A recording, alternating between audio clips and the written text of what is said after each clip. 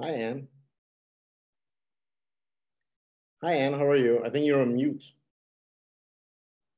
You're on mute. Yes, I'm off mute now. Yeah. How are you this morning? Good, good. How are you? How's uh, DC? It's nice and uh, warm in New York. Yeah, it's well, we it, we have sort of perfect weather. It, uh, there for a while, it got real hot, and there was like, oh God, here we go, summertime.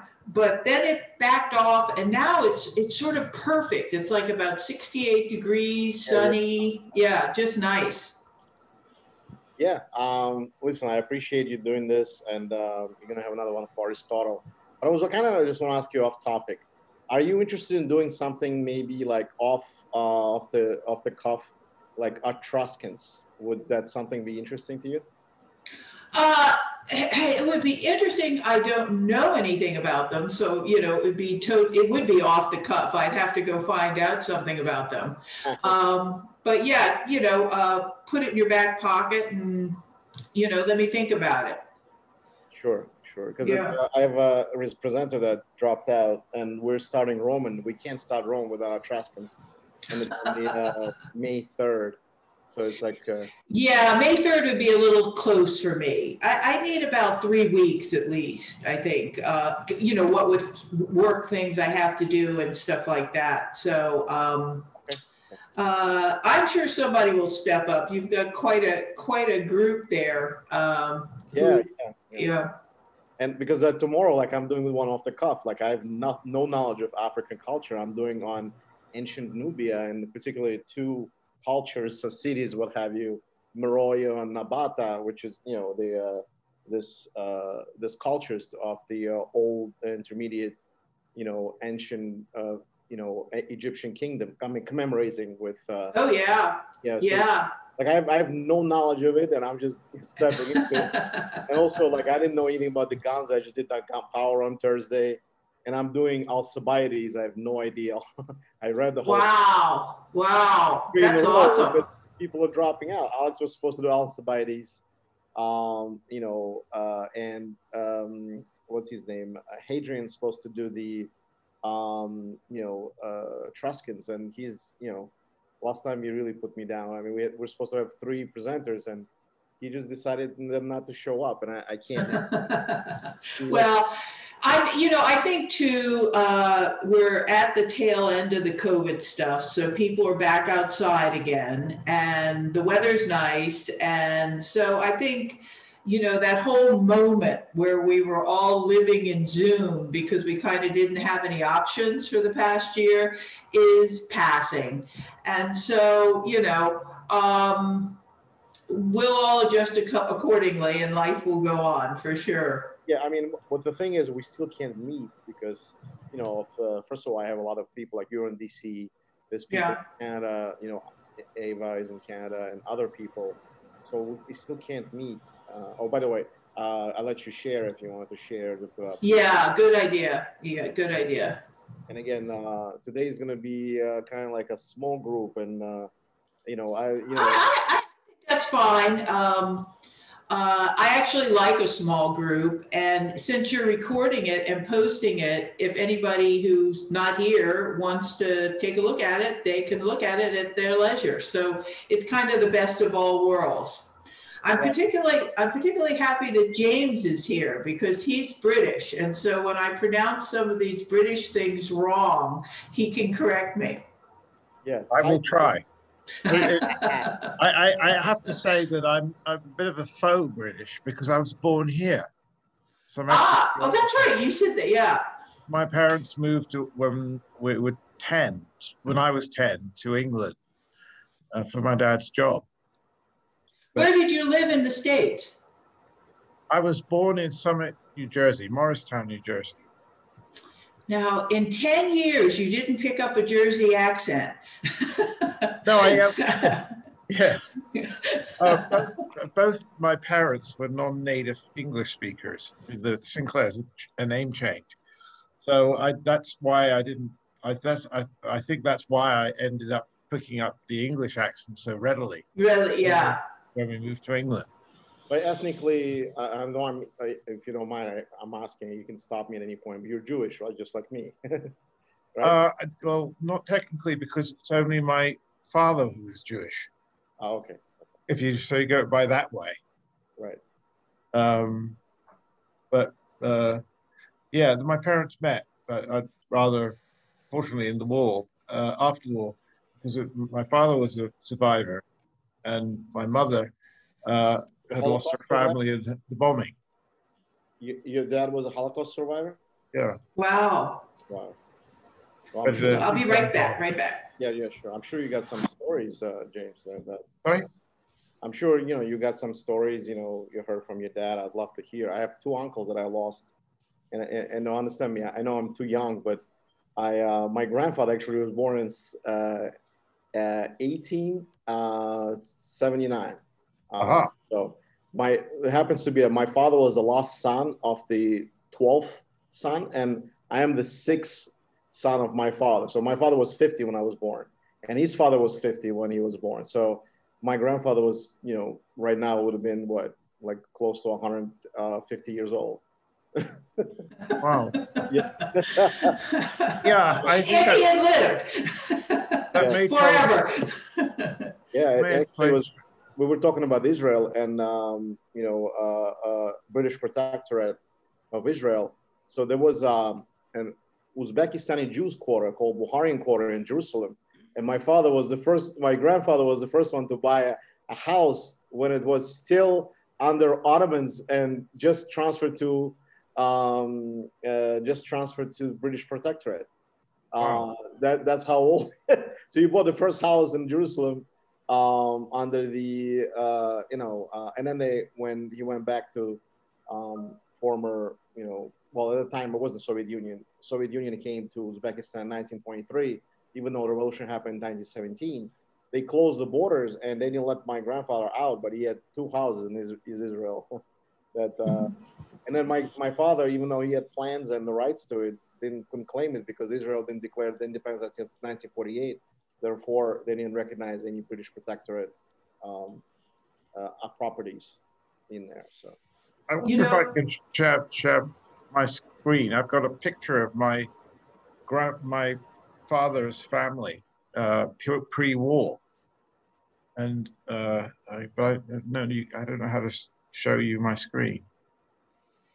Uh, you go down the bottom and there should be a little green square that says share screen. Do you see that? Yeah. Uh, see, hi, Greg. Um, Hi, Hi, Greg. hi.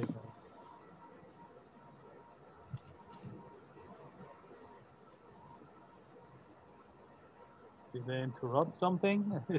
No, we're waiting. James is trying to share with us a picture of his family. but I, I, I, I can't, uh, I don't know how to, to, you can look at my screen normally. Um, yeah, I don't know how to do this. Uh, Well, is- how is about this? Can you put, can you put on your camera and then just hold the picture up to the camera? Well, yeah, you got to show your camera. Don't worry, we're not going to see you naked. No, no, no. All right. I'm trying to get find. Uh, I'm trying to find the link where where where you guys are on. Um, But your camera is not on. no, I I realize I'm trying to find the, the right tab to. Uh, To turn the camera on, it's usually in the, the bottom left. I don't think I, I know what I'm doing. Um,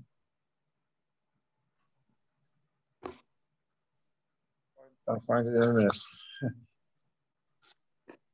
We'll hopefully find it in a minute.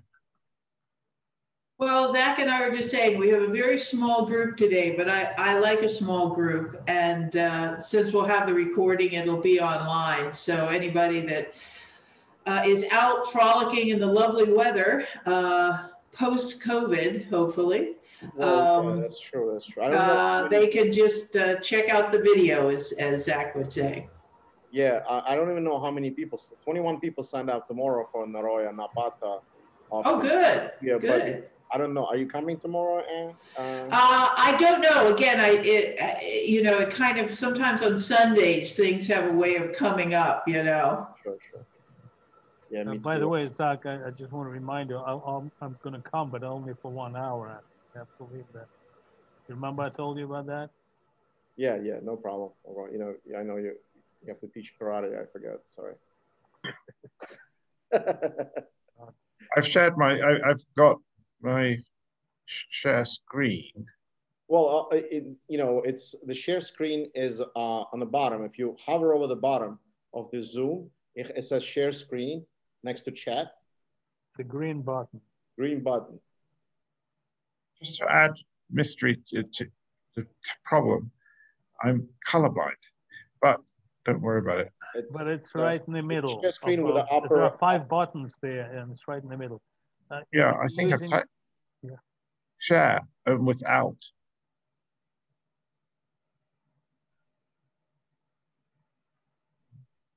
Edit in a minute.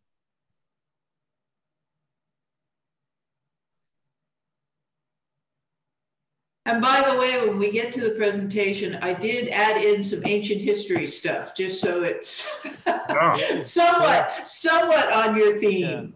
I, I, Oh, I have know. you have you sailed yourself, and Yes, I have. I have. You know, living here by the Chesapeake Bay, here in Washington, um, everyone goes down to Annapolis uh, or somewhere on the bay on weekends a lot. And so uh, most everybody either has a boat or knows somebody, knows somebody who has a boat. And the Chesapeake is very easy to sail on. Uh, you know, it's not challenging like up there in Long Island or further north up around Maine. You basically just it's a big warm bathtub of water. and Well- you just sort of push the boat out there and then everybody kind of has a good time eating and drinking for a couple hours and then right. you know you paddle on back and go home do do you have a boat of, uh, of your own? no no no no no no no I, I have uh, a I have a friend uh, with a sailboat. Uh, I mean, not very big, uh, 37 Yeah. feet. Well, that's a good sized boat Yeah, yeah, and uh, he he keeps it on. You know, Long Island Sound is also Oh, yeah. fairly Sound- safe.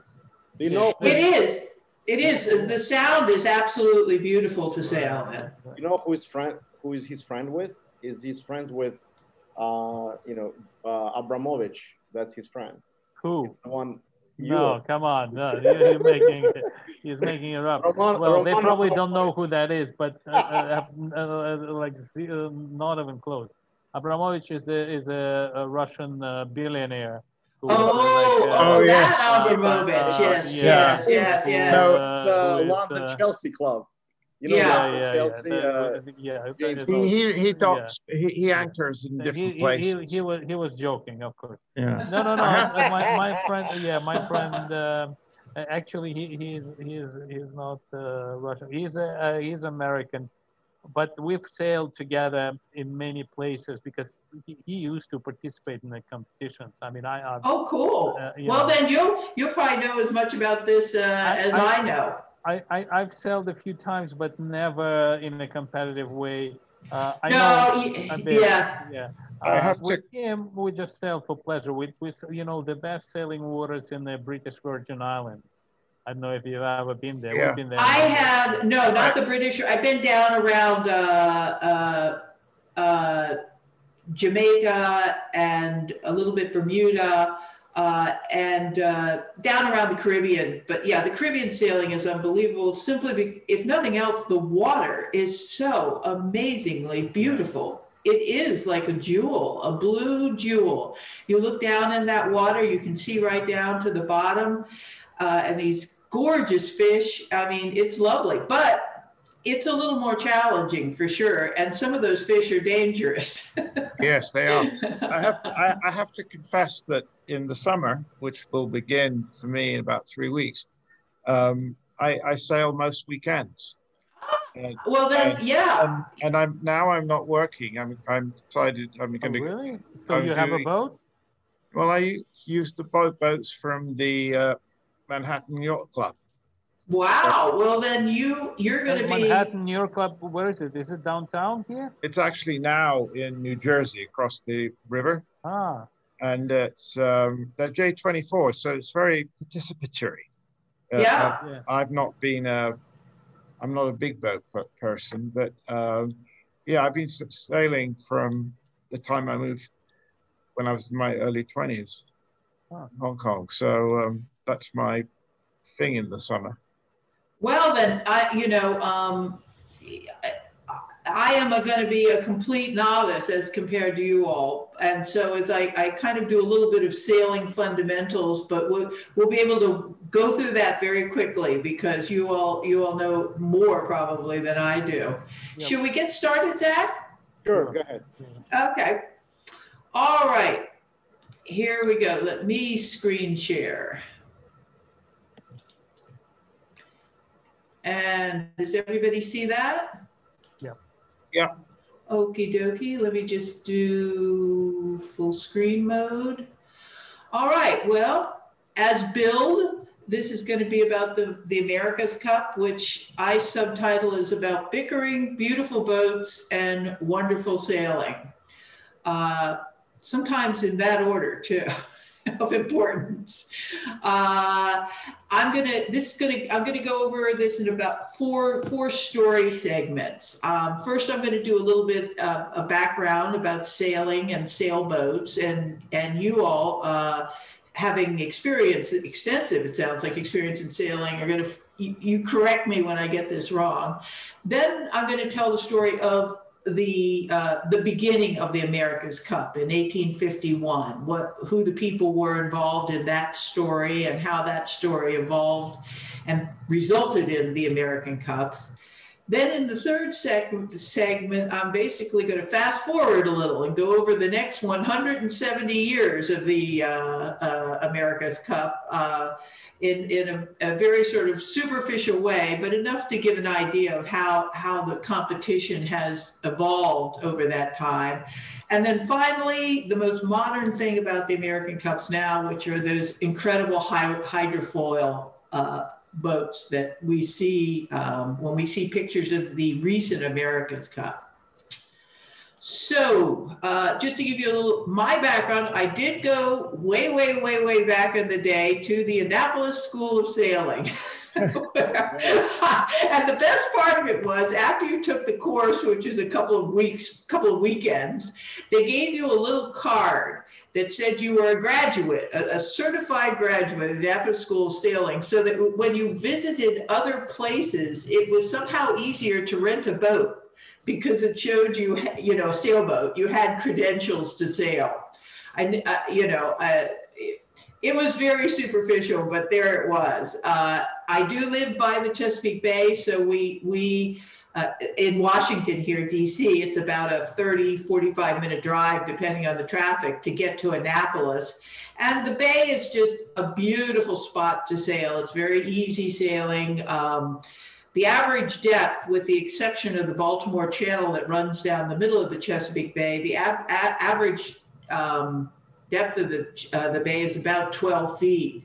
Um, we have very mild winds by and large, so it's it's not heavy heavy sailing, and uh, so that's part of our life. And also, once upon a time, my sister and brother-in-law very kindly gave me a book, uh, which was uh, dedicated to me or written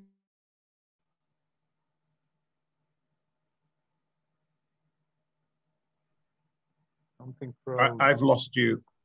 No, the, the I, I think the connection and and and froze. Yeah. She, oh. Yeah, something with a connection. Yeah, probably. So well, let's wait. She she might come back. What's happened to Aaron? Didn't he just join? I don't know. Is it is it me? Something I did? I don't know. Let me. Wow. Let me text her. I guess. Hi. We lost you. Yeah. Well, she'll come back. Okay. Uh, what what what about Aaron? He, he just appeared and then disappeared. No. Sorry, I am back. My malware just does that periodically. It clicks me off. So never worry. I always, I, and hopefully that'll be the only one for the rest of the, pre the presentation. So any rate, um, it's funny you left and uh, and Aaron disappeared too. okay. Text Aaron, maybe maybe. Oh, he came back. He came back. Okay, so we've got sailing before the wind, sailing close to the wind, and a little bit about uh, keels and centerboards.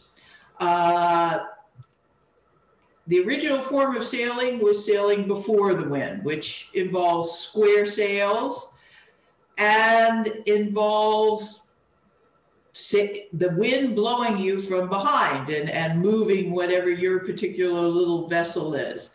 And for a long time, that was the basic structure of the boat. You got a hull, which in this case are two sponges, which gives nice buoyancy, a mast, and a cloth sail of some sort. Uh, cotton, flax, whatever the local availability was of materials, got in front of the wind and let it blow you along the way.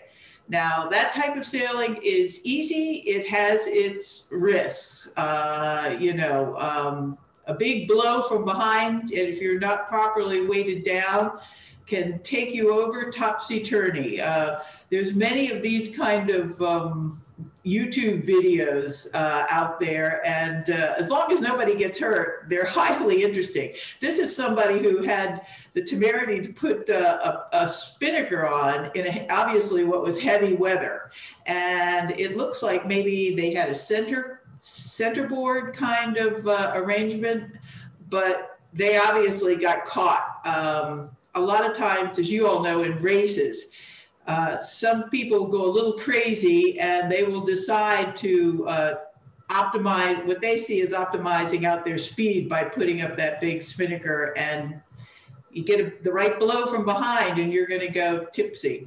But in any event, uh, that idea is of a, that simple boat, the mast, uh, the platform, and the sail, the mast, the platform, and the sail it's amazing how that those little boats are very similar to what uh, uh, uh, Homer described uh, Odysseus doing. Um, he uh, felled when he built himself a little boat. Uh, Twenty trees he felled.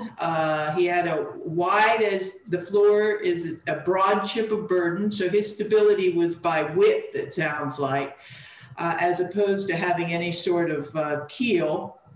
He set his mast, he put a yard arm, a rudder, and meanwhile, Calypso brought him a web of cloth to make him sails, and then off he went down to the fair salt sea. So most of these older boats that, that, that are depicted have come down to us through depictions. Uh, seem to indicate a sailing before the wind tact, uh, navigational approach. Um, and this is someone who actually prepared a drawing of uh, what he saw as the Homeric ship. Again, the basic principle is that you're going to go before the wind. Um, that's evident in even further pottery. This is 530 BC. Um, again, you can see see the approach. Even the Egyptian. That's why it took him 10 years to come back, right? Because he, he just couldn't go where he wanted. that's right. That's, that's right. Among other things, that's right. These are, of course, uh, from the Egyptian, um, some of the Egyptian tombs. These would have been, uh, of course, ritual vessels uh, heading, heading off into uh, the next world. Let me just make this full screen mode. Uh, but it's interesting to see. Uh, sailing is a, a perduring human activity, um, and people love to draw pictures of sailing boats uh, and include them in their, their culture.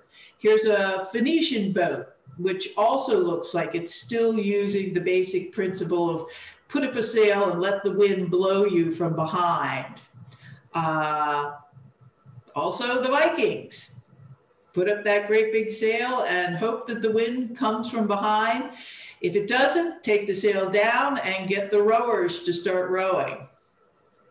Uh, and of course, these these major. This is a, a, uh, a modern painting of uh, some Venetian ves- a Venetian vessel, but the basic uh, square rig, square sail, three-masted square rig. As you can see, how the idea of sailing before the wind, that technology kind of technological approach played itself out uh, to as late as uh, you know the 1500s uh, AD. Um, and uh, it got more and more and more elaborate. Uh, but basically, uh, it, it reached one of its pinnacles in the Spanish Armada, which was uh, notably uh, a, a, a, series, a, a, fleet of galleons, all of which operated on the principle of sailing before the wind, having the wind blow them. I like this this modern again modern painting, but it goes to show just how scary they must have looked if they all came at you. And of course, they were formidable and ruled the seas until they encountered uh, the uh, the British fleet. And the British fleet had started incorporating into their vessels the concept of sailing close to the wind. Now, this is not to say that no one discovered that idea of sailing into the wind rather than before the wind by manipulating your sails, designing the sails differently uh, before this time, 1588.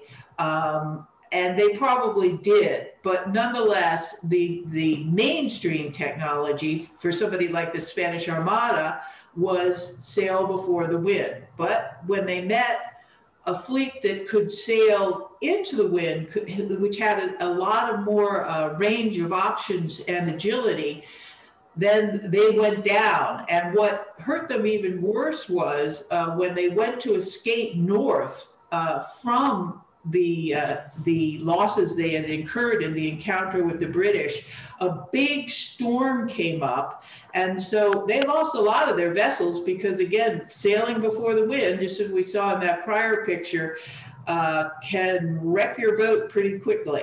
Um, and so that the the concept of how to sail, how to use the wind.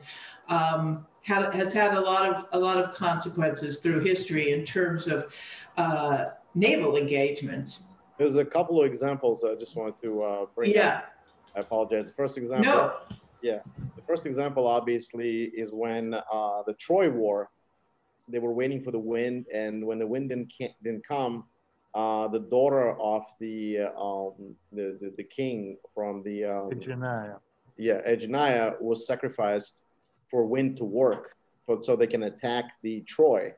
Uh, that's one. The second one, Menke uh, Han, in um, um, um, when they conquered Korea, uh, Mongolia conquered Korea, decided to attack Japan, and they were waiting for the wind. Wind came, and of course, you know, Mongols which were much superior than Japanese samurais. Samurais was like one-on-one combat, so they were waiting for Mongols to arrive and Mongols, the wind, you know, took them somewhere else, and they got crashed as well. And you know, and Japan declared obviously there was only several scattered boats of Mongols came to Japan. Otherwise, Japan would have been conquered by Mongols too, and they never yeah. did. uh, no, I it, it's interesting. Um, uh, one of the pictures that I didn't include was another Egyptian tomb um, inscription which showed the peop- the Egyptian encounter with the famous peoples of the sea. Right. Um, and you know it's a it's a very close combat uh, scene that's depicted on the water, um, but you can see that close combat simply meant getting your boat into the combat, taking the sails down, and fighting hand to hand because you had no real maneuverability uh, of the boat itself. Um, uh, so yeah, no, those are great examples. Um, the you know catching the wind. If you're again, if you're sailing before the wind, uh, you haven't adopted that technology of sailing close to the wind. Your options are, are considerably limited. Um, it was great when it worked, uh, but if that wind wasn't blowing from behind you, again, you had to get out the rowers or uh, sit there and wait. Um, so basically, to summarize, sailing below before the wind, it's blowing from behind you, and people still do it. I mean, if that's the direction your race is going in, the wind is behind you, then you're going to put up these big spinnakers and let them blow you from behind. Uh, I don't know what happened to my nice picture of sailing close to the wind, uh, but that's a picture of a, a modern sailboats which can with it with the triangular sail sail directly into the wind uh, which adds speed and agility. Um, here's a here's a better picture of that uh, sailing close to the wind. It's you know when i went to the annapolis school of sailing that's one of the first things they told us. You don't sail before the wind you mostly will be sailing into the wind. And they explained what they described as the Bernoulli principle of why sails can go forward and sail into the wind. And, and this is a diagram which was the simplest diagram I could find of the Bernoulli effect. Um, but uh, you all probably have a better concept of, of that principle. It, it's a, it's a, it's an aerodynamic principle, which I gather airplane wings use as well. Uh, something about when the wind hits the tip of the sail, um, one side has lower pressure than the other, uh, and that that creates a motive force, um, uh, which I conceive of as almost like a sucking situation, but I'm told that's not really what it is. Whatever it is, uh, it works and it makes for considerably more fun sailing than just having waiting for the wind to get behind you and uh, push you. Uh, another element of that is uh, sails went from being square sails to being triangular sails were a key part of um, taking advantage of, of that wind principle. Um, and this is again is just you know the classic thing. Anybody that learns sailing uh, will be shown a, a, uh, a, diagram similar to this. That you you don't you can never sail directly into the wind. You're basically you're sailing as we say close to the wind. Uh, and there are various degrees of how close you can get to the wind uh, with according and, and hopefully uh, these are the maneuvers you have to do if you're on a competition uh, route. Um, you'll have to go through these various maneuvers to take advantage of whatever way the wind is blowing, uh, given the direction you're going in. Um, I also wanted to mention that the other aspect of sailing close to the wind, um, you all know when you sail close to the wind, you'll start to, the boat will start to heel as this ship is heeling. Um, the only way to prevent the boat from going completely over is, oops, going the wrong way, is to have uh, off, offsetting weight uh, in, in the bottom of the boat. And this is, this is of course just an illustration of various kinds of keels on uh, sailboats. Um, the two I would uh, point out are the most prevalent are uh, the full keel and the centerboard. The full keel is obviously built into the bottom of the hull, and it's usually uh, you know a heavy piece of of iron in there basically, uh, whereas the centerboard is usually is often, and most of the smaller boats I've sailed in, is just a flat wooden board that you can pull up and down. So if, if you have if you're sailing perhaps before the wind um, and you don't need any counterbalance, then you can pull that up and with no no uh, keel drag, that'll enhance your speed a little bit. But once you turn around and start sailing close into the wind, you need that that counterbalancing pressure that's that's shown in this diagram. So if you're doing if you're doing racing, this is a game you're going to be playing is to minimize the weight of that counterbalance without sacrificing uh, you know turning the ship over which would be the case in this this uh, this boat if there weren't a keel counterbalancing um, the effect of, of the directional the direction they're sailing in. So that's basically the the fundamental principles I just wanted to note uh, as, background for for getting into um, competition sailing, which is what the uh, the um, America's Cup competition is. Uh, a final note: the word yacht is actually a Dutch word, apparently, um, and came into use when Charles II decided instead of returning to England from France on a big battleship, elected to uh, take one of these smaller yacht ships. Uh, and uh, thereupon, it was determined to be sort of a royal prerogative and uh, a luxury a luxury kind of sailing because they're not big enough to be commercially viable. They're not really warships, excuse me, but they are pleasurable for sailing. Um, and you can see that this particular, I don't know that this particular boat that I pulled a picture of here, I'm sure it's not the one Charles II was specifically on, but it's apparently like the one. And um, you can see the triangular sails. Um, in this case, it's a gaff rig boat. It's not the mainsail is not completely um, triangular. It's it's this funny polygon shape with the gaff at the top for lowering it and raising it. And we can't see the keel, but it's down there to provide stability.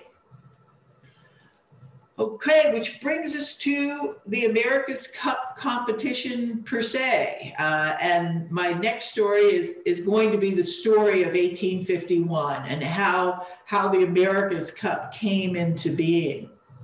This is actually a nice photo. If you'll notice in the background there, that's the Golden Gate Bridge. This, this photo must have been taken uh, in uh, uh the early 2000s when the America's Cup race was sailed in the San Francisco Bay. But we'll talk about that later. Okay, uh, basically, in the beginning, it was a, a story of British gentlemen uh, versus American sportsmen. Um, and that flag on the right, uh, left rather, is the flag of the Royal Yacht Squadron, and the flag on the left, right, okay, Left is the Royal, uh, Royal Squadron. right is the New York's Yacht Club. Um, a little about the, the, the cup itself. It, of course, is not a cup. It's a ewer, which is a, another Greek form. It's just about a yard tall uh, short of yard tall. It, it now stands a little higher because they've added to the base. Um, it was crafted in 1848 by a London silversmith, Garrard and Company, and apparently several were made. And uh, a British aristocrat by the name of Henry William Paget, the first Marquess of Anglesey, uh, bought one uh, and donated it to his club, he was a member of the Royal Yacht Squadron uh, to be one of their, their trophies.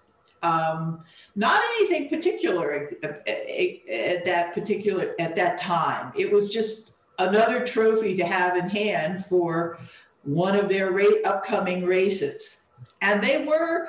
Uh, membership in the Royal Yacht Squadron was, by its original bylaws, open only to gentlemen. however that is defined in British society. Um, a little more about the, the yacht, the, the Royal Yacht Squadron. It, it itself was founded in 1850, uh, 1815. Um, as I said, the qualification was to be a gentleman who could, who was an owner of a vessel not less than 10 tons.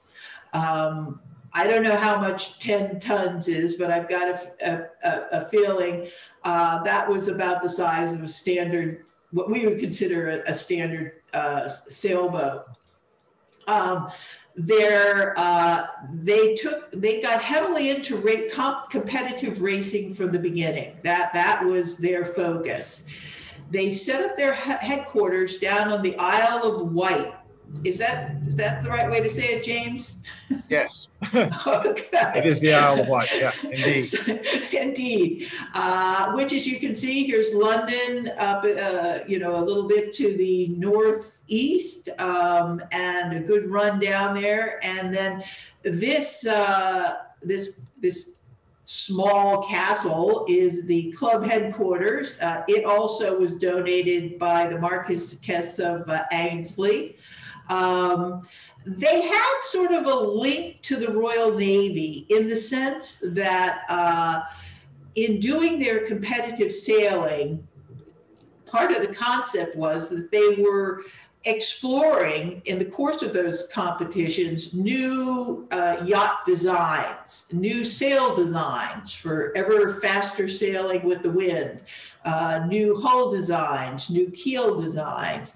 Um, and they're actually apparently um, some branch of the Navy. They have some official Navy designation with, without actually being the Navy. So if you are a, a, member of the Royal Yacht Squadron, you you can wear a uniform, an ensign's, a, a Navy ensign's uniform. Um, and then in the eight, 1840s, um, as other yacht clubs started to evolve all over England and probably, I'm sure, Europe, uh, they opened up their competition to non uh, Royal yacht squadron boats. So this this spirit of competitiveness was was emerging there. Uh, this picture down here is actually a picture of uh, taken, I believe, during their their bison their 200 year anniversary, which uh, was celebrated um, obviously in 2015, and uh, their admiral is the late uh, was the late Prince Philip, and there he is wearing the yacht squadron's ensign's uniform, and he was apparently quite a, quite a fan of the quite a, an enthusiastic member of the yacht club. Always went to their Cowes Week uh, competition. Um, so the Royal Yacht Club has always been a, a, a major focus of aristocratic interest in sailing. Um, a lot of the pictures of when the czar came to uh, on his yacht or uh, the Kaiser came on his yacht were to come to Cowes Week here. Um, Cowes being the city where the Royal Yacht Club is located on the Isle of Wight. Um, and then, you know, over across the pond in America, we had the New York Yacht Club, which was not so much necessarily gentlemen, although I'm sure in the generic sense they were gentlemen or may have been, but they were more, they were flat out sportsmen. It was about competition and it was about wagering. Um, and it, we'll talk about this more, but this, of course, is a picture of the schooner America.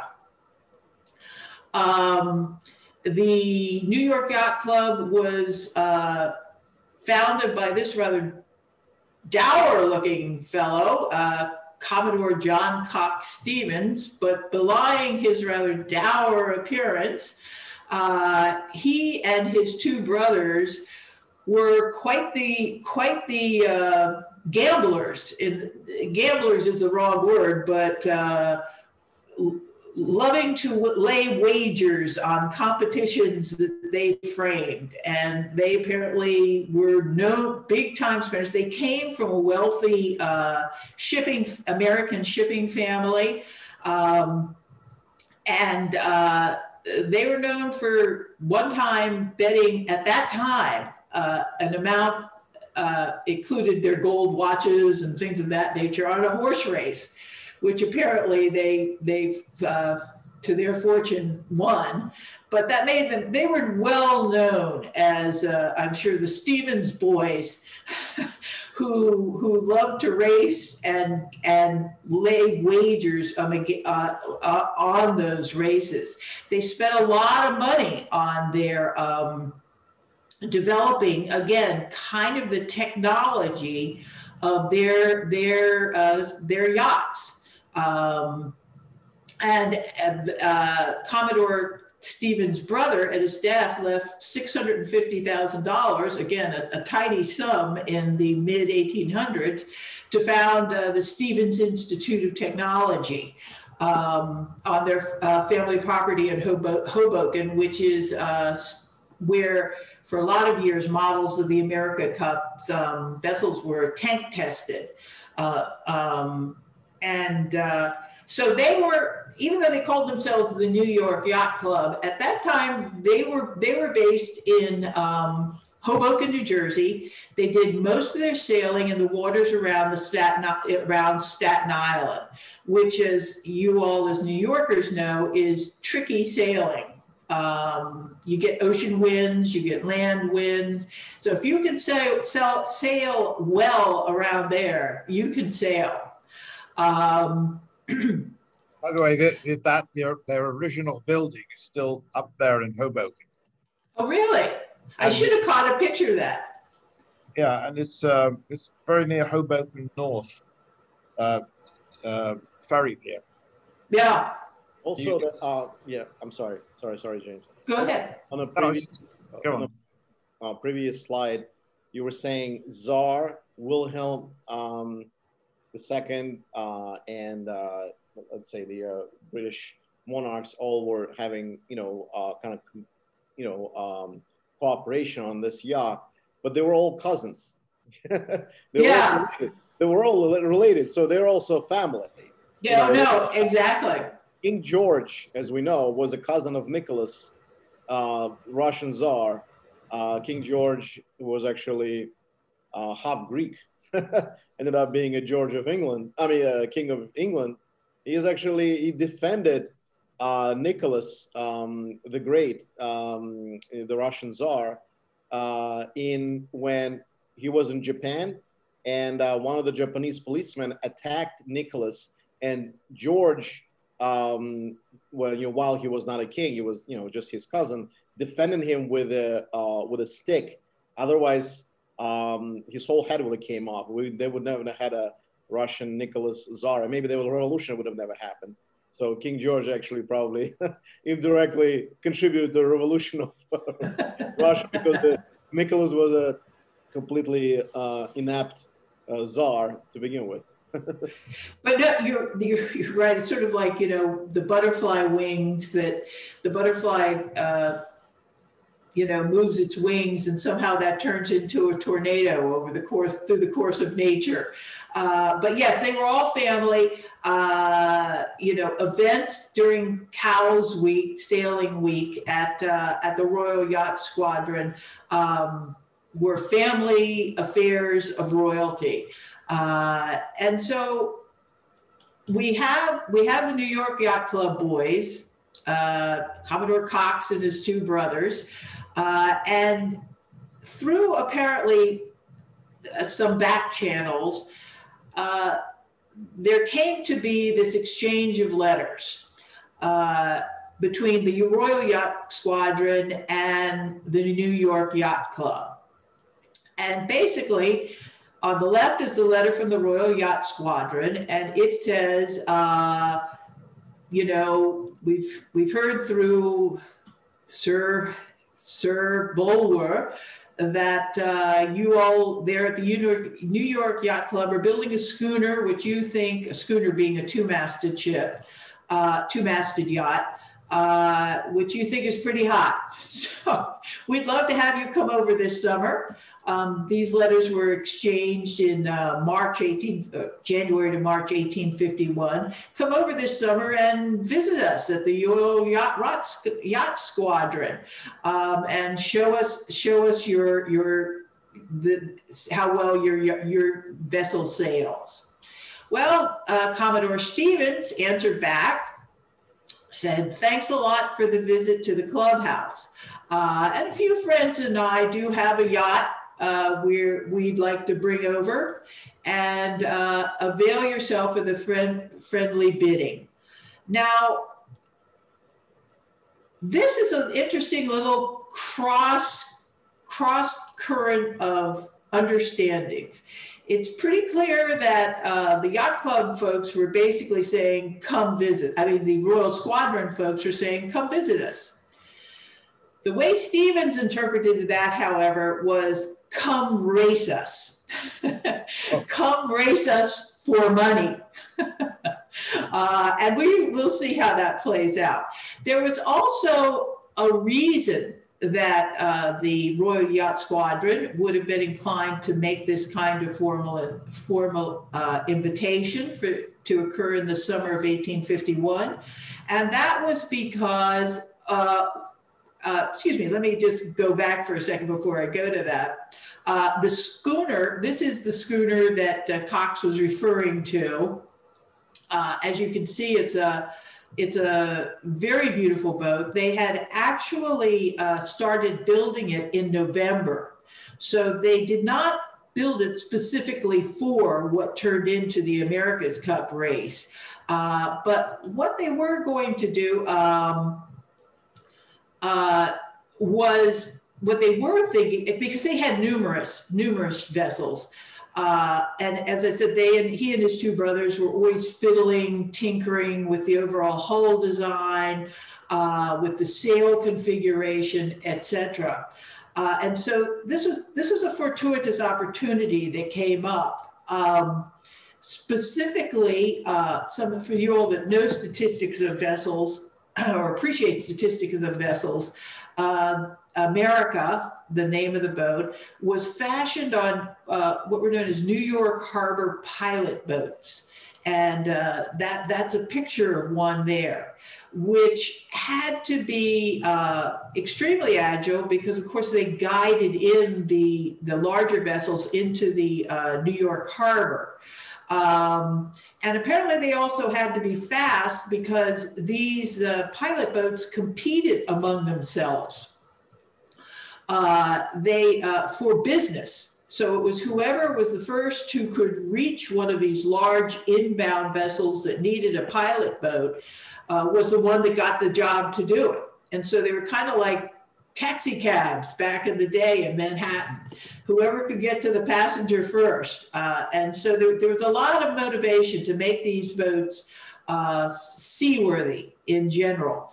Um, uh, the boat was uh, the, the uh, entire length of the boat overall was 101 uh, feet. Of course, that would have included the bowsprit, um, and its its keel length at the waterline was 89 feet. So it's you know. Um, Greg, when you were talking about your friend that has a 39 foot boat, I mean, that's a good size. That's well with, it's not an 89, but nevertheless, it's a, it's a good sized boat.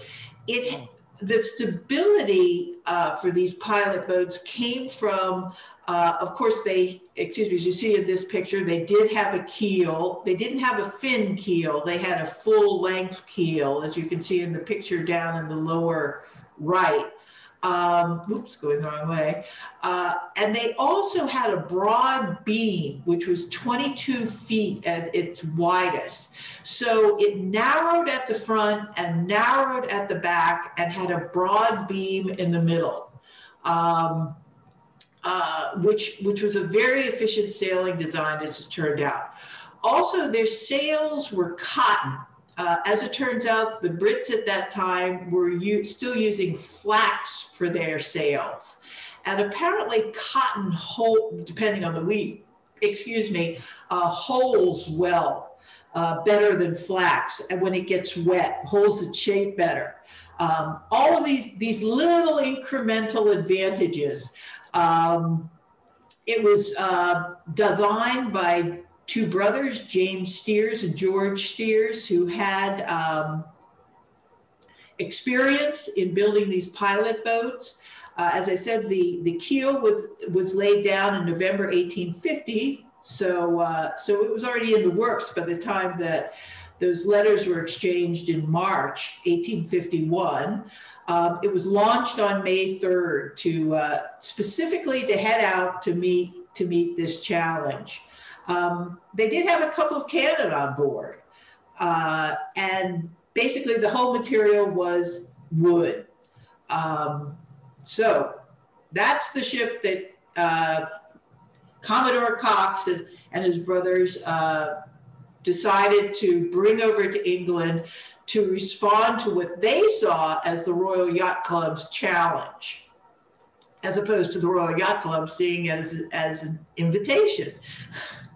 Um, and the, the reason this was kind of a focal time was because it was the time of the Grand International of 1851. Uh, which occurred uh, during the period May to October 1851. Um, this is the Crystal Palace. Is the Crystal Palace still up, James, in London? No, no. no. There's a big television transmitter where it used to be. Wow. Well, uh, Queen Victoria and her, her much beloved spouse, um, uh, Prince Albert, uh, this was all the brainchild of Prince Albert, who viewed himself as a progressive royal monarch. Uh, and of course, he was German, and so he was a very thorough progressive royal monarch. And he pulled together uh, what was one of the first international exhibitions. It was basically the World's Fair, the first big World's Fair.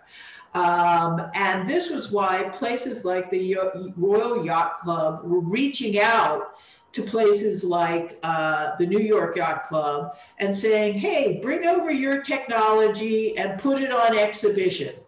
Uh, and countries from all over the world were doing this. And of course, it wasn't just uh, yachts, uh, it was all sorts of things. Um, textiles, whatever scientific innovations you had, um, I don't know, uh, your cultural uh, wonderful things to see. Uh, and this is the inside. And that must have been a marvelous building, that big glass structure. Um, uh, just amazing. Uh, it was a huge success. Uh, they had up to you know, around 40 to 45,000 visitors a day. Um, and over the course of it, uh, you know, um, uh, six million people went through there. Uh, that's over there, the upper right-hand corner. That's Prince Prince Albert and Queen Victoria, who at that time still looked kind of looked young. She had not going, gone into mourning uh, that was to consume the re- remainder of her life after Prince Albert's uh, untimely death as a young man.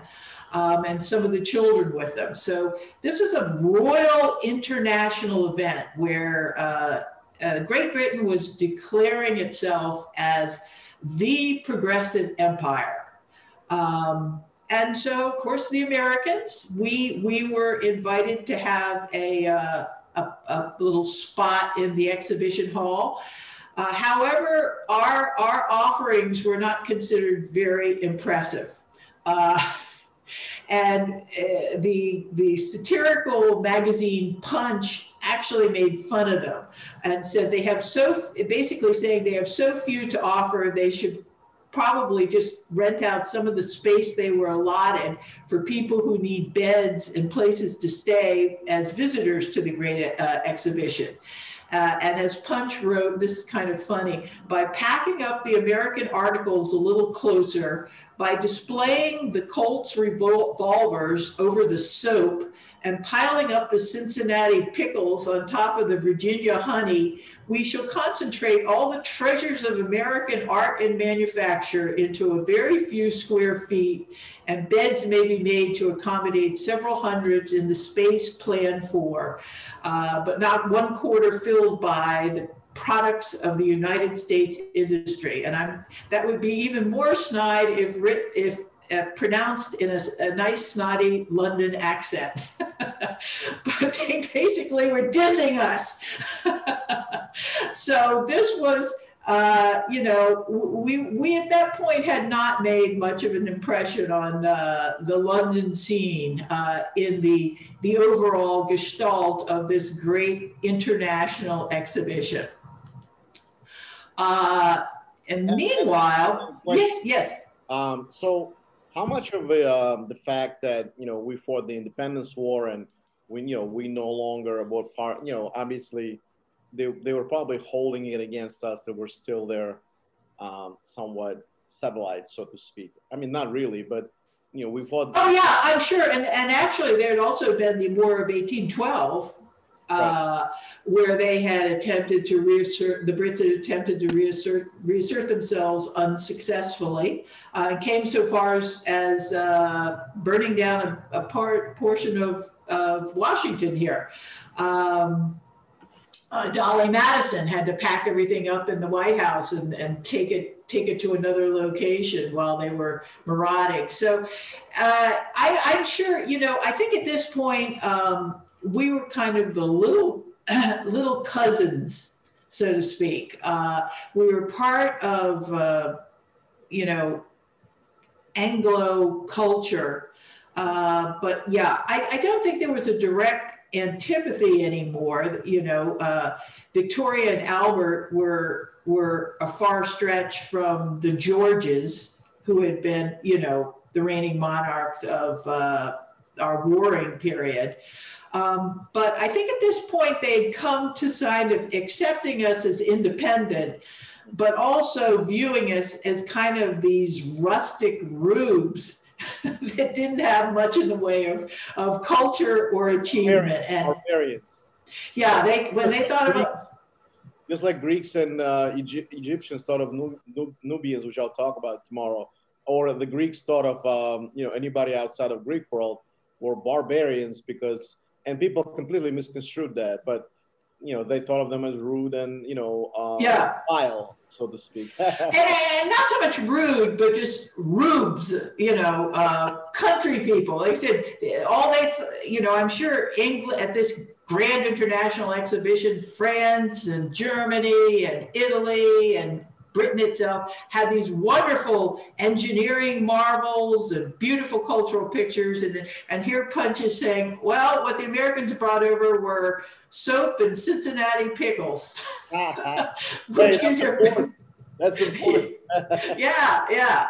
Well, uh, you know, there's the old saying, he who laughs last, laughs, laughs best. And oh, so we... you that, look at what Dogecoin is doing, right? Dogecoin.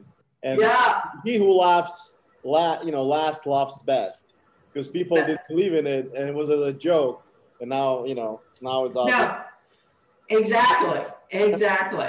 so while while while we're sort of um, failing to impress in the Crystal Palace, uh, you know, Commodore Cox and his brothers and his sort of you know the uh, the little business consortium that was funding the America yacht yacht.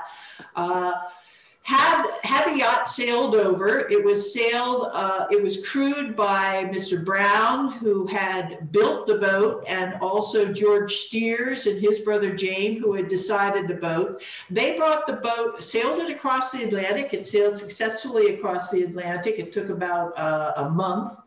Um, they went to Le Havre in France, and there uh, had the yacht dry docked and sort of generally spiffed up, repainted, um, any damage from the transatlantic crossing um, repaired, etc. So that when they sailed into Cowes, uh, they were the America was looking good.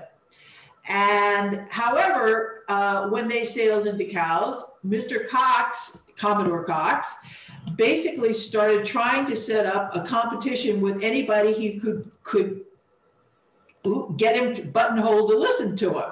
And he was making these, um, you know, these competitions were wagers for outrageous amounts of money at that time 10,000 guineas, which I don't know, but I'm sure it's a lot.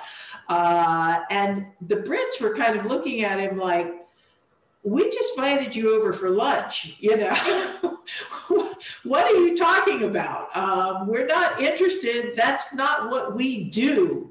Uh, you know, we're gentlemen. We just race for the the honor of it um, and assisting the Royal Navy in development of you know new racing, te- uh, new sailing techniques, etc. So uh, Commodore Cox uh, you know, it was getting, had, I'm sure, Yankee impatience, and he was getting a little frustrated till uh, the uh, Royal Yacht Squadron announced that it, as part of uh, of, of these overall, you know, international exhibition related ac- activities, just like we have a lot of associated activities the city has when it hosts the World Fair, that they were going to sponsor one race, and it was going to be a hundred pound race. Um, 100 pounds not being a lot of money to this crowd. So it was just a little friendly race. But the part that caught Commodore Cox's eye is that it was going to be open to yachts belonging to the clubs of all nations. So Commodore Cox was not able to get anybody to actually enter into a personal wager on the race like you would on the horse race. But nevertheless, here was an opportunity to race and compete and kind of spiff up America's image a little bit uh, since we, we, we've been a bit of a flop at the Crystal Palace. Uh, and so along came the day of the race, August 22nd, 1851. Now, this is a is kind of a fun little uh, tourist map. It was actually a postcard. There's the source reference over there of, of the Isle of Wight. Now, it's about 55 miles around the Isle of Wight. And this, uh, let me go back. This race uh, was was uh, this Royal Yacht Squadron 100 Cup race whoop, whoop, whoop, was going to be a race anybody could enter. You just had to be there at Cowes, which is at the top of the picture, at the at the Royal Yacht Squadron harbor. Uh, and at this, when the starting gun went off, to take off clockwise to go all around the island in sort of a sort of a free for all. Uh, of course, governed by what were considered the appropriate rules of sailing as to right of way when two boats started to cross each other, things of that nature. But there were no. It was numerous boats. It wasn't just two boats. Uh, there were no uh, requirements with regard to the yachts, uh, you know, as to size, shape, whatever. They, of course, were all under sail, uh, no motor power of any sort. Um, uh, you also see that uh, right there to the left, to the left is the Royal Yacht Squadron up there at the top. To the right is Osborne House. Osborne House was one of the favorite residences of uh, Queen Victoria and um, Prince Albert, and they were there uh, for this whole series. But the 100 Cup race, this to go back, this this little 100 Cup race was not on, on the on the on the menu of activities was not considered a big deal. The big deal was Her Majesty's Cup. And I think that Her Majesty's Cup was only given, you could only race for that as a member of the uh, Royal Yacht Squadron. But as an ancillary activity, they had this little um, this little 100, 100 cup watch. Cox entered, and off they went to engage in this uh, 55 mile race, which usually, apparently, uh, at that time, with the sailing technology at that time, would have taken about uh, seven or eight hours uh, to go all the way around. Um, and this is a great YouTube that was put together uh, video that was put together for the Royal Yacht Squad on the occasion of their bicentenary on 2015. Uh, this gentleman is the uh, current Commodore of the Royal Yacht Club. His name is Christopher Sharples. And he, among, among other things in this YouTube video, gives a little rundown of how the race proceeded. Um, uh, basically, there were 15 boats at the start. He's pointing there to where, uh, you know, the Royal Yacht Squadron location would have been. Um, the yachts did not pull up at that time to a starting line. It was just the gun went off when the first when the starting gun was fired, which was at 9:55 apparently a.m. The boats were actually at their individual moorings and they just that was just the signal to start the race and so they would all individually start pulling out to pursue this course. And in point of fact, at that point, America had a little problem with its its anchorage at that time, and it got off late. It took off the last of the 15 boats.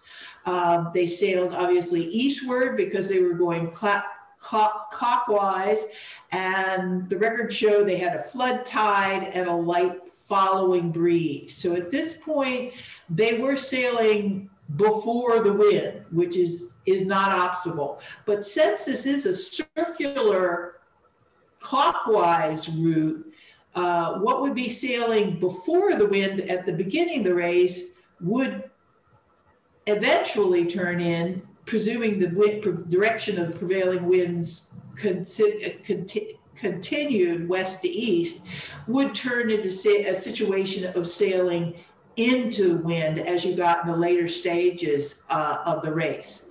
Um, he, uh, the President Commodore Sharples uh, explains that uh, despite its late pull from Anchorage, uh, the America, which uh, had a flying jib, you know, which means they basically took the jib and almost used it as a in the that light air portion as a as spinnaker kind of situation. They pulled up pretty quickly. Um, and by the time they got to this kind of rounding point, uh, they were within minutes of the remaining um, the other ships uh, that were in the race. So everybody's uh, proceeding along, and America is in the pack. Um, as they got farther down, uh, the composition of the of the race started to change a little bit. Um, the breeze picked up, uh, and that was an advantage for America because they were used to, you know, being along the design of these uh, Long Island, uh, not these Long Island, but New uh, New York Harbor uh, winds. We're used to uh, that kind of wind situation. There was also a little bit of dispute about the course route this little jutting out piece here uh, that's on the right hand, more rightward side of this picture, there's apparently a lighthouse there. And the, the race, everyone in the race, apparently, uh, it was custom for everyone to pass outside of the lighthouse. But America, which apparently really didn't know this, passed inside the lighthouse. And uh, there again, it just, they picked up a bit of an advantage at that point. They had caught up uh, then they started to be at least in the front of the pack. Uh, that little maneuver was disputed, but it was ultimately determined that they simply hadn't been properly advised of whether they could go inside or outside the White House. Those are the kind of things that add up to a victory, though, in a in a race. Um, as they got down to the point where the Commodore is uh, pointing out there, uh, three of the boats actually dropped out of the race. Um, one actually had some damage, another one had a little bit of damage, and the third one stopped to help the other two. Uh, so we're starting we're starting to to lose, and some of those some of those one or two of those three had been front runners. So America is now starting to pull out uh, substantially in front of the pack as the hours go on. Um, and as by the time they got down to what is basically the halfway uh, point of the race, um, they were they were a good uh, a good half hour or so ahead, and then for the remainder of the race, up way back up to Cowes, uh, they just they just increased their lead. Um, uh, and arrived at 8:37, which, as you could say, the next closest boat was, uh, you know, 20, 25 minutes behind, uh, and then it just got worse and worse as it went on. So, bottom line, America uh, won won the race, and it just so happens that Queen Victoria and her husband uh, had gotten on their yacht, which is actually more of a small battleship, over there at Osborne House, which we had pointed out is up there near the Royal Yacht Club, had sailed around to something called the Needle. and they apparently, I think, sailed my guess is they sail counterclockwise to get to the needles. The needles are that point. You see the Commodore's finger down there at the far southern port of the island. Well, the needles are, if you keep going, and you'll see up there at like uh, 11 o'clock, uh, this, this this protruding thin geological formation which is, appears to be in photos kind of a, a, a chalk out, a, a, rock outgrowth, and it's called the Needles. Well, Queen Victoria Prince Philip and their kids on the Royal Small Battleship yacht uh, had sailed there to be in position to see the boats when, you know, in the race when they came around. Uh, and this is a little uh, excerpt from the Queen's diary where she describes that. And she said, immediately after luncheon, we embarked from our pier in the Victoria and Albert with the six children uh, and all the ladies and gentlemen going with us. Uh, we, skipping ahead, we stopped nearly an hour at Alum Bay. Uh, Alum Bay is a location up there by the Needles, uh, so that uh, Philip could watch the race better, basically, because uh, he was apparently interested in sailing. He was interested in everything. He was a good, you know, German born progressive prince. Um, and uh, famously, uh, when the, the, the, the group of boats in the competition, the first one started to be in view. Um, uh, the queen said, Who's in first place? And the answer was, uh, The America. And she said, Oh, that's interesting. And, and she said, Who's in second place? And the answer was, No one. and so it dawned on them. Now that's that may be apocryphal, but that that is the phrase uh, that the Americans chose to pump thereafter. Uh, that there was no second place to the to the Americans.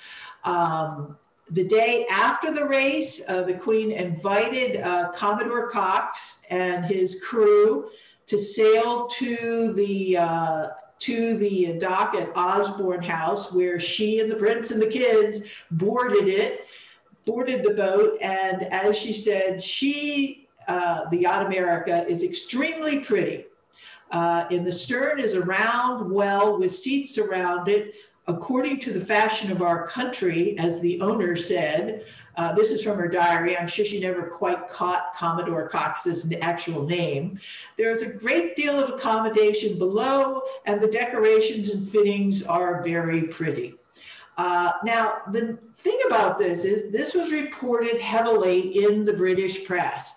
Uh, number one, this, this victory in an a race that was not seen to be that important before it occurred. But this American victory, this recognition by the Queen, um, all of a sudden bumped this up into a big deal. Um, and uh, the fact that the Queen responded graciously to the victory um, enhanced United States uh, prestige at this time. So this all of a sudden became a big deal. Now, remember, at this point, the cup doesn't even have a name. The cup, they're going to get the cup, which uh, the Marquis of Anglesey had just kind of bought as a trophy. Uh, it was like, here, take this trophy, pulled it off the shelf, take this one for this race. Um, and it, it really didn't have a name. It was just known as the 100 pound race cup um, when it was uh, was given to the American. It, it, was you know when when they won the race and were, were given that trophy, and that's all it was. There was no money, nothing of that. It was just here's the cup. Thanks a lot. Um, however, the bottom line is that when the yacht the yacht America sailed to England, they won this hundred pound cup race, and thereafter that cup became, which is really the ewer, uh, became America's Cup, uh, named not so much after the United States as after, uh, after named after the vessel, the, the yacht America. And so that is sort of the story of how the America's Cup started. Uh, and I don't know if anybody wants to sort of discuss stuff or should I forge on? Uh, any, anybody has any questions, wanted to say anything or add anything? Okay, is what it is, but it's kind of a fun story. Apparently, another, there are a lot of apocryphal stories about it, but another one is that apparently the uh, the Marquess of Anglesey uh, got on board. Everybody, you know, once the America won, everybody wanted to get on board and take a look at it. And he was actually um, convinced that, that the boat was so fast that it had to have some sort of engine secreted way inside of it. And when he got on board, he leaned way over the edge to see if he could see any evidence of it, you know, discern evidence of this and he almost fell overboard, but he had a wooden leg. He had lost his leg in fighting against Napoleon.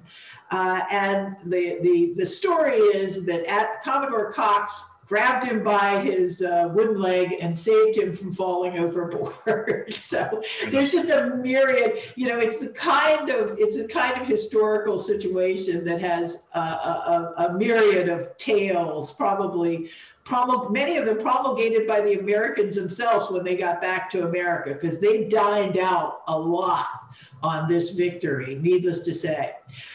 Well, I'm obviously going to fast forward now. Uh, we're going to cover fairly quickly the next 170 years, bringing us up to uh, the present.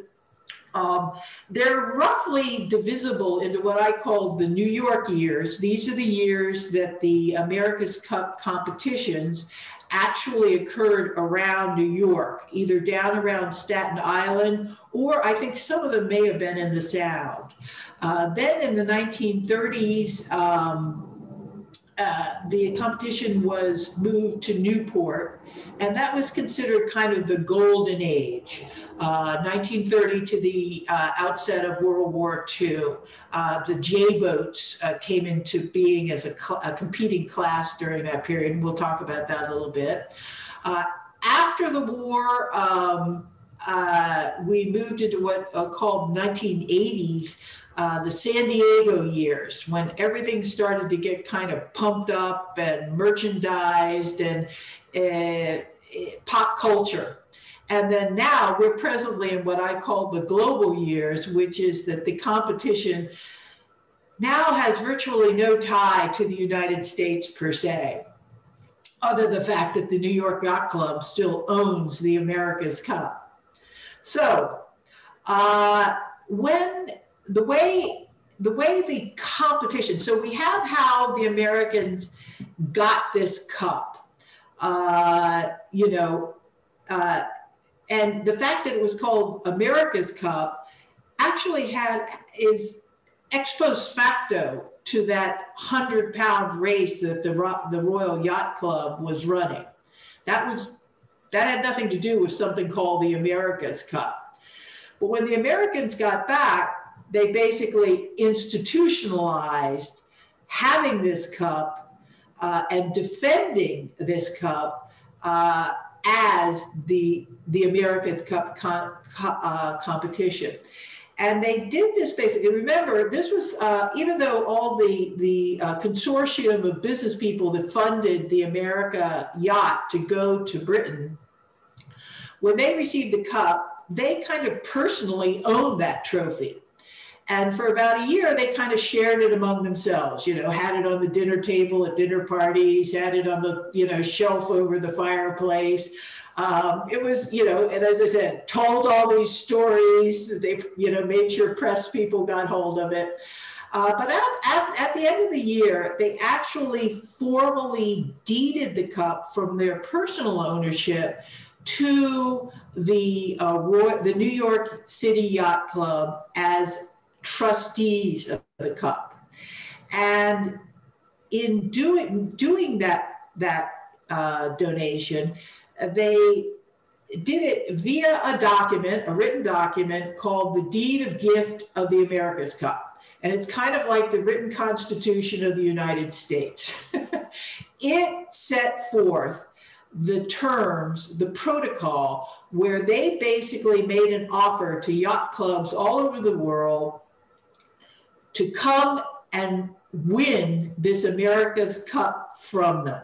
So they were putting themselves in the position of, in their mind, perpetual defenders of the America's Cup. And the nature of the competition would be you come, you challenge us for the cup, and if you win, you get to take the cup back home to your yacht club. No prize money, nothing of that. It's strictly passing around the um, the possession of this trophy, which is kind of mind blowing when you realize the amount of money spent on this little round robin of having possession of this, you know, three foot high silver ewer. But that's what it is. And it was this deed of trust that made the America's Cup competition a thing. Um, this happens to be uh, uh, uh from a YouTube. This guy, uh, Terry Hutchinson, did a little short YouTube about how he went to visit the New York Yacht Club, which uh, now is located in New York City, uh, the headquarters of the yacht club. It's no longer in Hoboken, New Jersey. And the archivist of the New York Yacht Club, uh, uh we'll see her picture in a moment, pulled out this actual deed document, which is kind of um, uh, uh, pictured here on the bottom, along the bottom of the page. Uh, so it's to be a perpetual challenge trophy to promote friendly competition among the nations. Okay.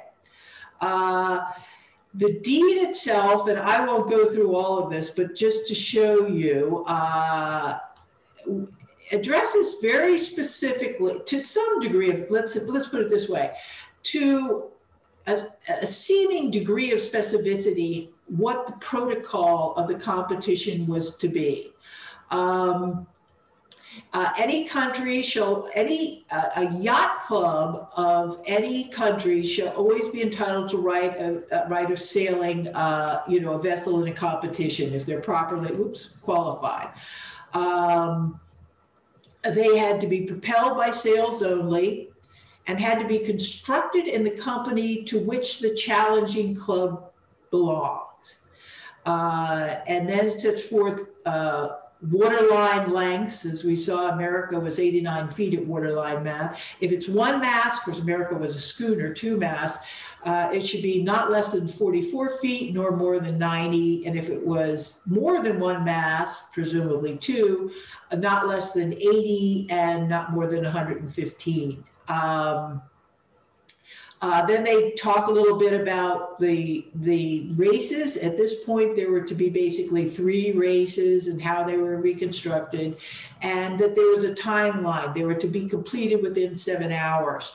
Uh, in the history of the competition, there were occasions when the wind was so light that they couldn't even com- complete the course within, say, a seven hours. So they just would call it off that day and do it the next day.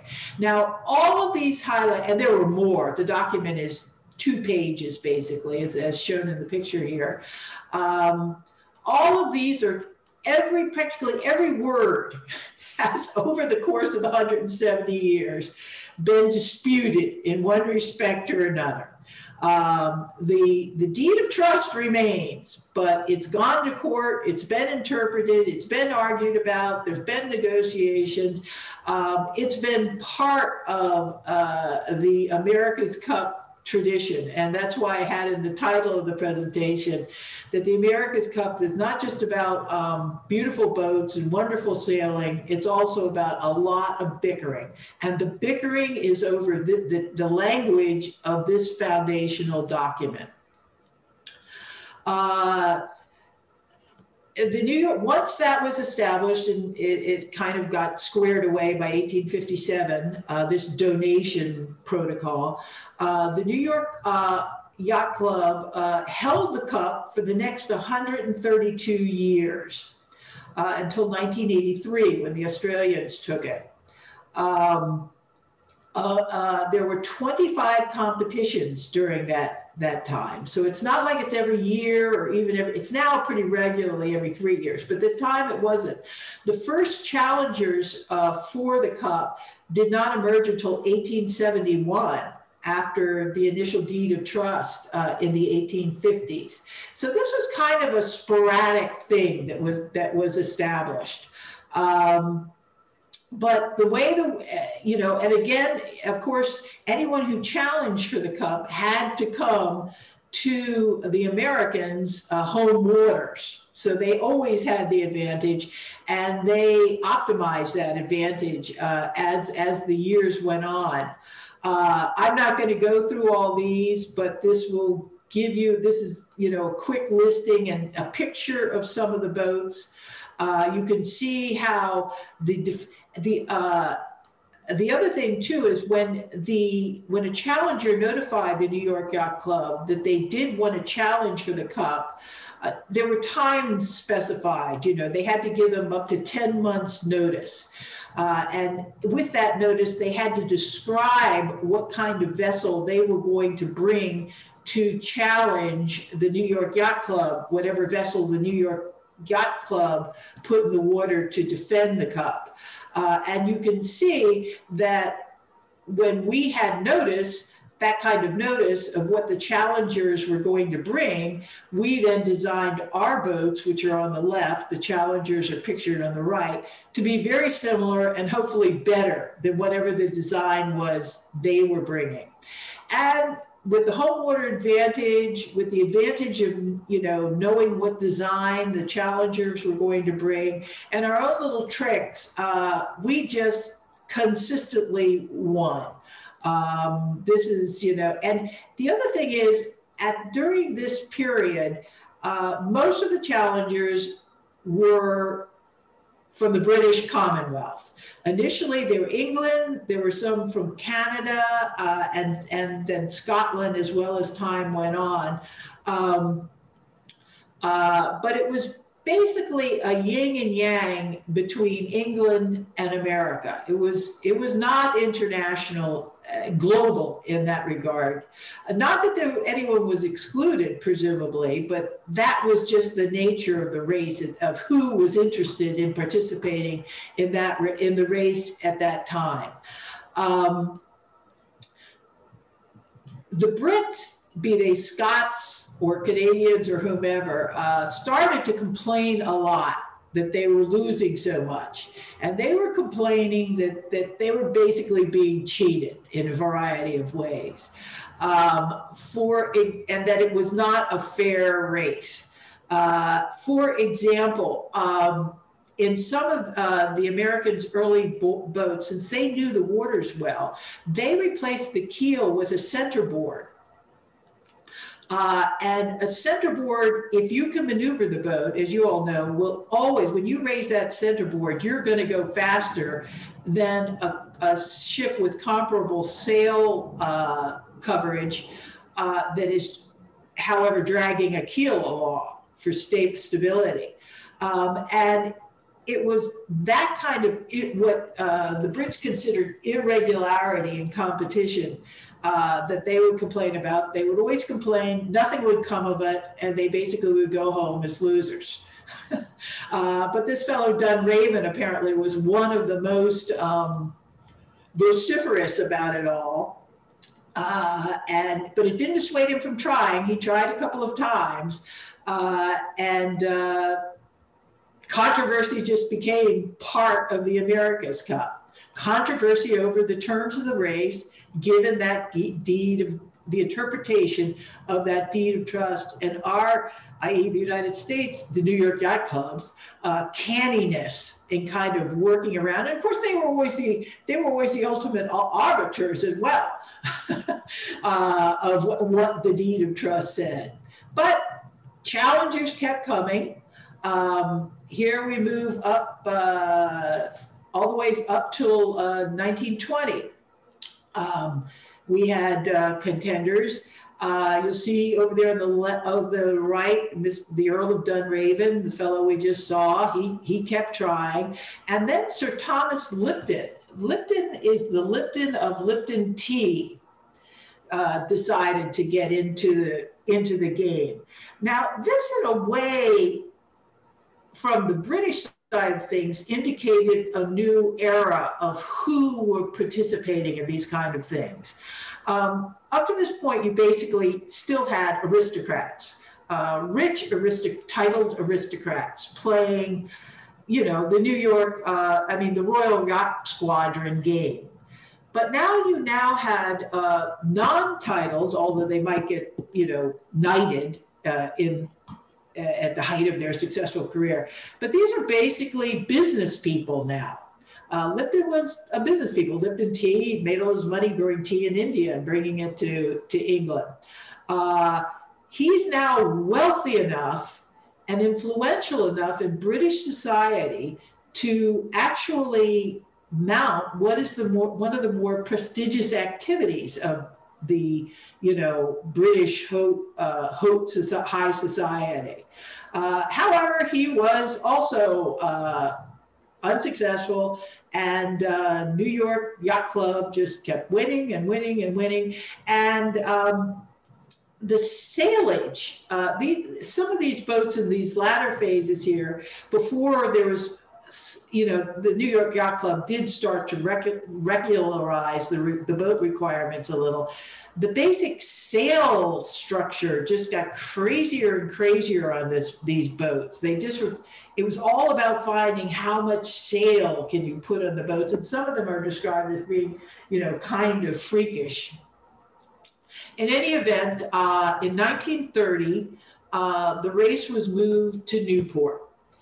And all of a sudden, we had a new era. It wasn't so much of a, a, a free for all. There was going to be a standard boat design. By this time, too, uh, the competition was narrowed down to one challenger and one one defender, basically. Uh, it wasn't an open race where you had 15 boats sailing or any of that nature. You had two, where there were multiple challengers. There would be pre-racers to sort of narrow down the challengers. Um, and uh, these J boats, I'm not going to go into all the design about them, but the picture kind of speaks for itself. They they are gorgeous boats, and this is, as I mentioned earlier, is considered kind of the uh, you know the classic glory period of the type of elegant sailing associated at that time with the America's America's Cup competition. Um, uh, that ended with the outset of the World War II. And uh, race, this is another big picture I just included in simply because it's just so beautiful. They're, of course, still built, but you can just see the hull design is, it, it's like their lines are just utterly beautiful.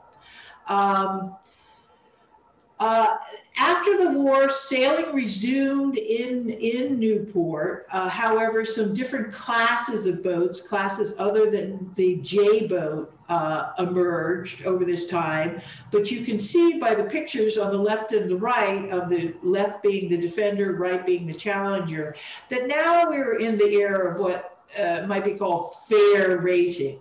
Uh, the two boats were the same type of boat. And so it became not so much about the boat, although each of the owners would kind of try to, you know, gear up their des- within that design, standard design framework to do as many little tricks and cuts as they could get away with. Uh, but it was more about the uh, sailing expertise of the crew. Uh, that went on uh, through the 50s, the 60s, and the 70s uh, until in 1983 the hammer came down. And we lost the cup. Oh, during this period, too, post World War II, you start seeing Australia show up. All of a sudden, it's not just about Great Britain and America, but it's also about some so a place as far away as Australia, for heaven's sakes. And again, these are Australian entre- business entrepreneurs that were starting to see participation in this competition a prestige and status item, which obviously it is.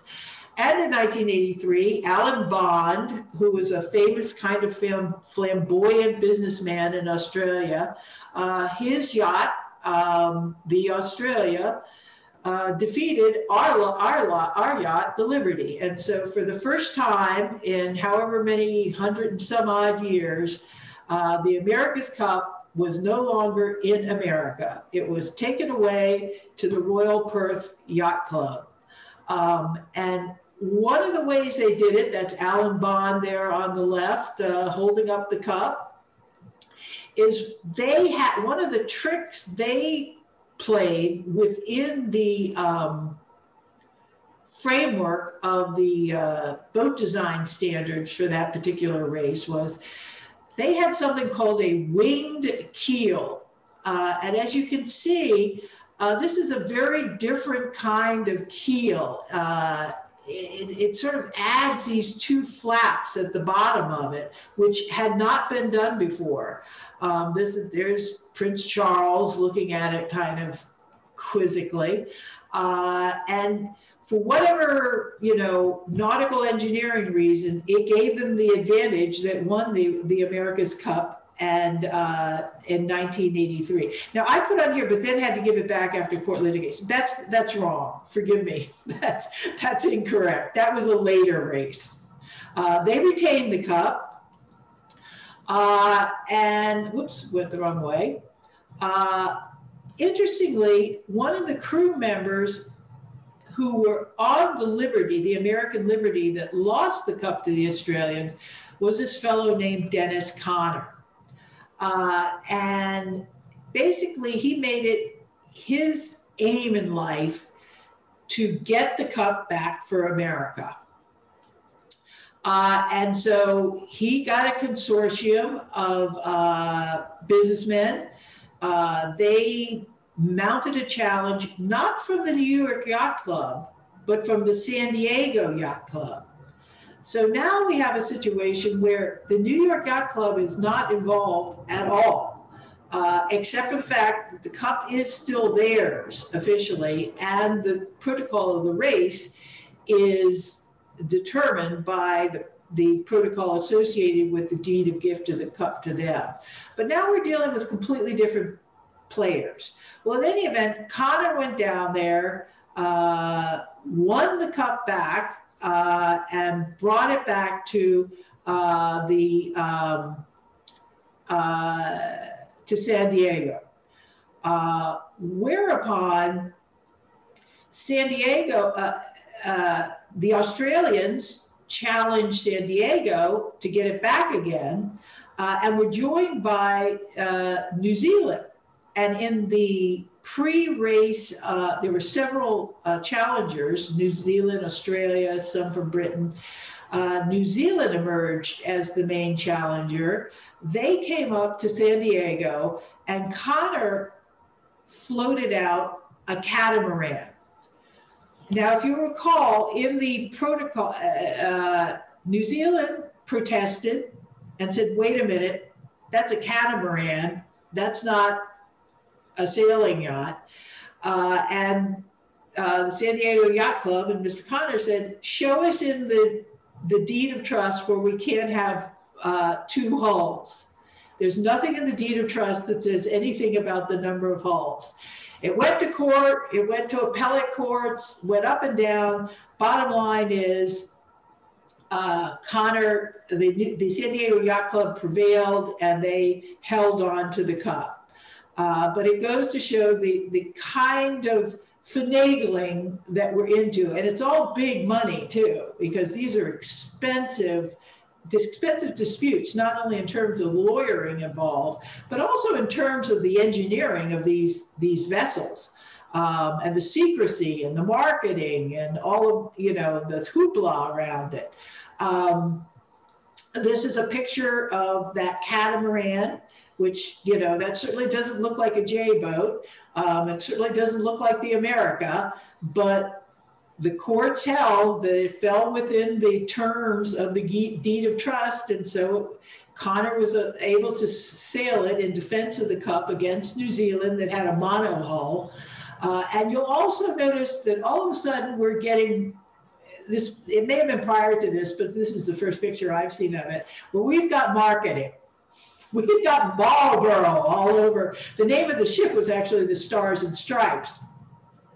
But we've got Marlboro sort of uh, prominently displayed because these enterprises have gotten so expensive uh, that the money is needed.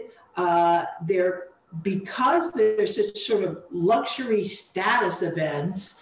Um, advertisers want to be in on it.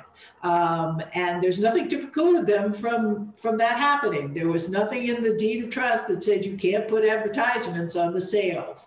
So all the bounds are starting to be, you know, uh, pushed. Um, they have to be because it's so expensive to keep it going, and also because it's now, you know, it's not just a stuffy ass aristocratic and wealthy sportsman kind of activity. Uh, although it is at some level, but it's now moved into the modern era. It's getting the race is getting TV coverage, not just newspaper coverage. Uh, these controversies are entertaining too. It's something for all the press people to write about. Uh, well, in any event, uh, this era that you know we had the New York era, we had the Newport era, and now we have the uh, what I call the relatively short-lived, but nonetheless uh, consistent San Diego era, which lasted up till 1995. Um, uh, that as uh, at that point when uh, uh after uh, Conner defended it against the New Zealanders, uh, the Italians challenged. They defended it against the Italians, although at that point I think they were back to sailing a mono hull. They didn't do a catamaran. Um, and then finally in 1995, they lost it again to uh, New Zealand, the Cup. But at this point, the competition has opened up. And I think the idea of an American yacht club losing the Cup uh, simply doesn't have quite the same. Um, uh, significance that it had uh, in the earlier history of the race. Uh, now it's all about uh, a global endeavor as to who can get position, uh, has the money and the, the mojo to seize possession of this, uh, of this trophy. Um, so, in any event, at this point, we're down in New Zealand. And this is what I call the global phase, where basically, you know, New, New Zealand defended it against the an Italian yacht club. They then lost it against the Swiss yacht club, the Swiss yacht club, lost it back to the United States, uh, to the Golden Gate Yacht Club. That was the year it was. Uh, the competition was sailed in the San Francisco Bay, and that picture I have of the trophy with the Golden Gate in the background probably comes from that. Uh, when the Golden Gate Yacht Club was challenged by uh, the again by the Royal New Zealand Yacht Club, uh, the the defense was mounted by uh, Larry Orison. Uh, Larry, that's the wrong name, but the owner, the founder of Oracle, put mounted a huge. he used a catamaran uh, defended it against that challenge. Uh, but then in the next 2017, where they moved it, uh, the, the defending club, uh, the Golden Gate Yacht Club, because the San Francisco waters weren't winds weren't quite good for the race. So they moved it to a beautiful place, uh, Bermuda, in 2017. But when they moved it, they lost it. New Zealand got it again. And that's kind of the setup for the 2021s, where the, uh, the races that were just finished occurred down in Auckland, New Zealand. Um, which kind of brings us to today and brings us to hydrofoils, uh, which are an incredible innovation uh, in the whole look of and how sales occur. Um, now, hydrofoils per se aren't a new concept, but a yacht sailing hydrofoil is uh, are these arms, as we'll see, and you all probably know, basically reach out from the, the, the hull on either side and kind of look like they're like two arms and they're putting their hand down on the water and lifting the hull up out of the water such that the sailboat is literally sa- sailing. What's the advantage of this? Well, aside from the novelty, it doubles the speed. These boats, you know, a typical, like the America probably at top speed was doing about 16 knots or about, you know, somewhere between 50 and 20 miles an hour at its top speed. These hydrofoils easily go with the right wind, and again, these are all still wind driven, they're sailboats, uh, can go 55 miles an hour. It's astonishing. Um, motored uh, uh, motorboats with huge engines lag beside the lag when they're trying to just to move along beside them. Um, it, uh, hydrofoil can occur with either a monohull or a multi-hull, like a, a, a catamaran. And uh, since the, uh, uh, uh I think 2013 race, all those variations have, um, have been tried. And now I just really, I'm going to show a bunch of, you know, some pictures of these boats because the pictures kind of um, explain it. Uh, this is uh, New Zealand's boat entry in the San Francisco competition in 23. Uh, this shows their hydrofoil. Now here, the hydrofoil engineering, you can see it the, uh, to the bottom, the right side of the catamaran, right hull of the, the starboard hull of the catamaran, you can see the advertisement for camper. And you see that kind of bar there reaching up. They literally just manually uh, raise those up and down, almost like a centerboard, to tell you the truth.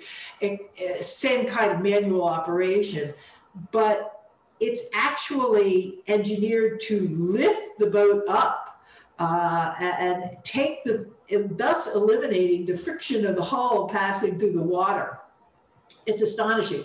And the New Zealanders in it brought that to the America's Cup. It, hydrofoiling was being done throughout the world of sailing, but it had not been brought to the America's Cup. And actually, the New Zealanders introduced this in the trials in 2012, and they were the first ones. When they arrived, when they appeared with this in the trials, everybody was just flabbergasted when they put those hydrofoils arms into action and the boat lifted up off the water. Everybody was like, oh my God. Um, of course, when they challenged this, the uh, San Francisco Yacht Club for, for the Cup, they had to send their design. And the San Francisco Yacht Club at that point, uh, which had planned to run, this was uh, Larry Ellison of uh, Oracle, had planned to sail a catamaran as um, Conner had done so many years earlier. But they had not had hydrofoils, I don't believe. And I believe that when they saw those hydrofoils, they added that technology to their catamaran uh, Defender uh, boat. Um, and uh, this, yeah, this is another picture of the New Zealand boat. Again, you can kind of see how those arms are operating on either hull, uh, lifting it up. It's it's amazing. This is a these are from some YouTube. So if you'd like to see them actually sailing, uh, the YouTubes are amazing, and you can see the San Francisco. Uh, uh, geography in the background there. Uh, that must have been must have been quite a sight in 2013. Um, this is a picture. Did, did yeah. Ellison himself participated in the races? Uh, I don't know that.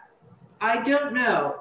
I don't. I'm inclined to say I don't think so, but I could be wrong about that.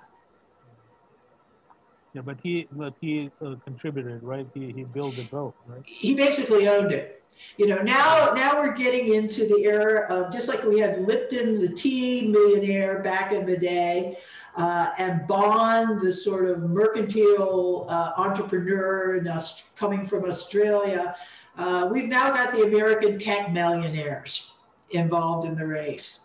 Naturally again it's a status item. If you've got billion if you've got multi hundreds of millions of dollars you you know you could buy a race horse and a race car and a racing yacht to defend in the most prestigious uh, most prestigious competition in the world for yachting.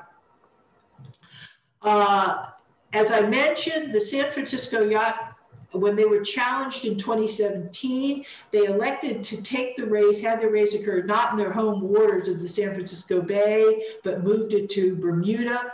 Uh, this is the Oracle boat showing its high, it had a, you know, its hydrofoil catamaran uh, profile. Um, nice to have Oracle advertising there. I thought this was a great photo uh, showing what is uh, not the America, but certainly a boat like the America, and just what the what the contrast is. Uh, you know how far it's come over 170 years. Um, this is another picture. There's the uh, Challenger Emirates and uh, the Oracle. Um, again, you know, it's fun to look at the YouTube videos because, you know, it, it's quite astonishing how these things maneuver. And again, these are going up to 55 miles an hour. These are not the old graceful U boats, kind of from a spectator's point of view, kind of having a stately progress forward in, in you know, uh, kind of everybody following the wind in the same way. These these these competitions look and feel very very different. They almost feel more like race cars than uh, than yachts. Um, but that's that's the way of the world. Whoever can go faster, and it is a competition to get across the finish line first. So. Um, if the look and feel of it changes, that's just a you know a byproduct. Um, this is the 2021 New Zealand, uh, Auckland successfully defended when they took it from in Bermuda. They did they did take the cup uh, from uh, the Americans from Ellison. Uh, they oops, good throwaway. They in just a couple weeks ago, they successfully defended keeping the cup. Uh, instead of doing a catamaran, they did a monohull. And now, as you can see, these hydrofoil arms are much more sophisticated. They're not that sort of, um, as you recall, this sort of clunky, uh, this is good picture, but almost like sticks, like center boards that they raised up and down. Uh, they now are these these very sophisticated engineering apparatus. Um, they are raised up and down manually um, by the um, by the crew. There's a lot of press out there pre-race about the crew getting all buffed up and be how fast they can you know do these winders and it's still a sailboat so there are times when the hydrofoils are drawn back in the boat heels everybody has to be constantly running around and there's an incredible amount of sophisticated computerized navigational information packed into these vessels now. Uh, in the America's Cup, I didn't mention it, but, but by the 1930s, many of the America's Cup's crews, either defenders or challengers, had crew members like mathematicians, um, you know, which meant that they were getting into a certain navigational sophistication regarding the race routes and the wind conditions and the water conditions that was beginning to be beyond just beyond the typical, you know, gentleman yachts, yachtsman's know-how. And now that has, you know, modern times just ratcheted up. I think there's a lot of um, on land uh, computer uh, navigational analysis going on while the race is occurring, which I'm assuming they are able to radio to the skipper of the ships. And you know the skipper then makes the accordingly the sail and hydrofoil uh, adjustments. Um, and this is a picture too because you can see there's that motorboat off to the left kind of going at full throttle and they're barely keeping up uh, with this uh, with new zealand's hydrofoil monohull how often uh, do I run, uh, by the way? How often? Uh, you mean how many? uh, now, now, now they, it's not a set time. Like I said, the first one didn't occur till uh, 20 years after the original race in Britain. Um, and they were interrupted by the world wars, etc. Nowadays, it is about every three. It, it's about a three-year um, space. Uh, it, you know, uh, three years between when a challenger gives notice that they want to challenge until when the race occurs. And what happens is that three years is aside from building the boats and all of the crews and all of all of that that's going on, uh, you have you, you nowadays have usually have about three three to five challengers. So there have to be these runoff races to narrow it down to uh, the Prada Cup race is the big one, um, where they narrow down the challengers to just one. So all of that takes at least 36 months uh, or can take longer. So they have uh, uh other races before correct. only two uh, leaders emerge. Right? That's exactly right. And again, that's that was an innovation in the course of the history of the America's Cup. Um, originally, they didn't they didn't do that. It was a one-on-one. You know, the challenger challenged, and there weren't whoever was the first to challenge was going to be in the race. Uh, they didn't have a runoff among numerous challengers, but now now it's all part of the game.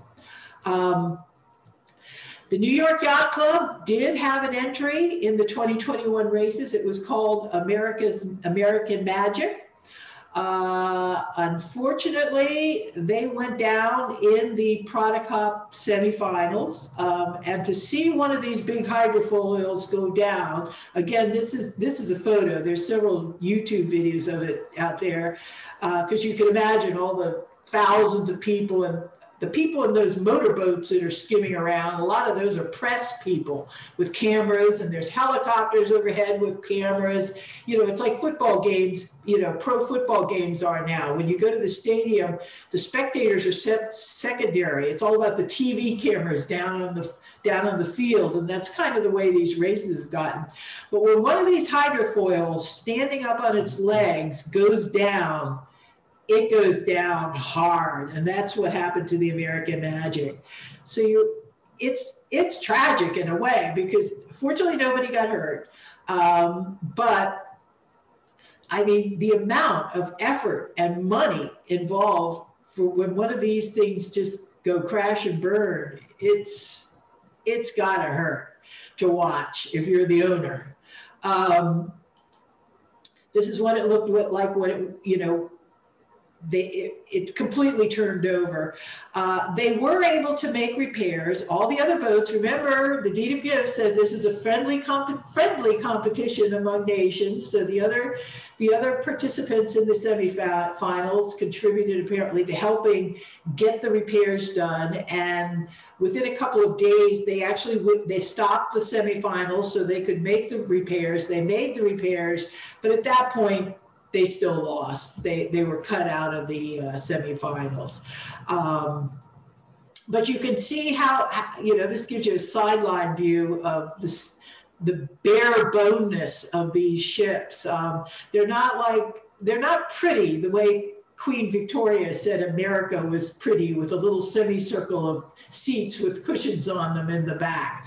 Um, these are like utility tanks uh, you know, war tanks. Um, that berth there that you can see those two guys kind of at the top of the picture, that's where the, the, the winders sit to wind this arm up and down. It's a it's a whole different vehicle. The sail material now is completely different as well, and there's no um, there's very little sail manipulation uh, uh, in, in terms of um, the lines, uh, the way you uh, configured the sail itself. Um, just a few fun facts. The entry fee for the America's Cup in 2020 was there is an entry fee, $2 million. Not only do you not get a money prize, you have to pay to participate in it. Um, the cost of uh, running the team, uh, the boats themselves, the support crews, uh, the whole infrastructure uh, runs to many millions of dollars. And as a matter of fact, uh, one of the few actual figures I could find in Googling around was that it's commonly said that in 2013, Ellison spent around 200 million.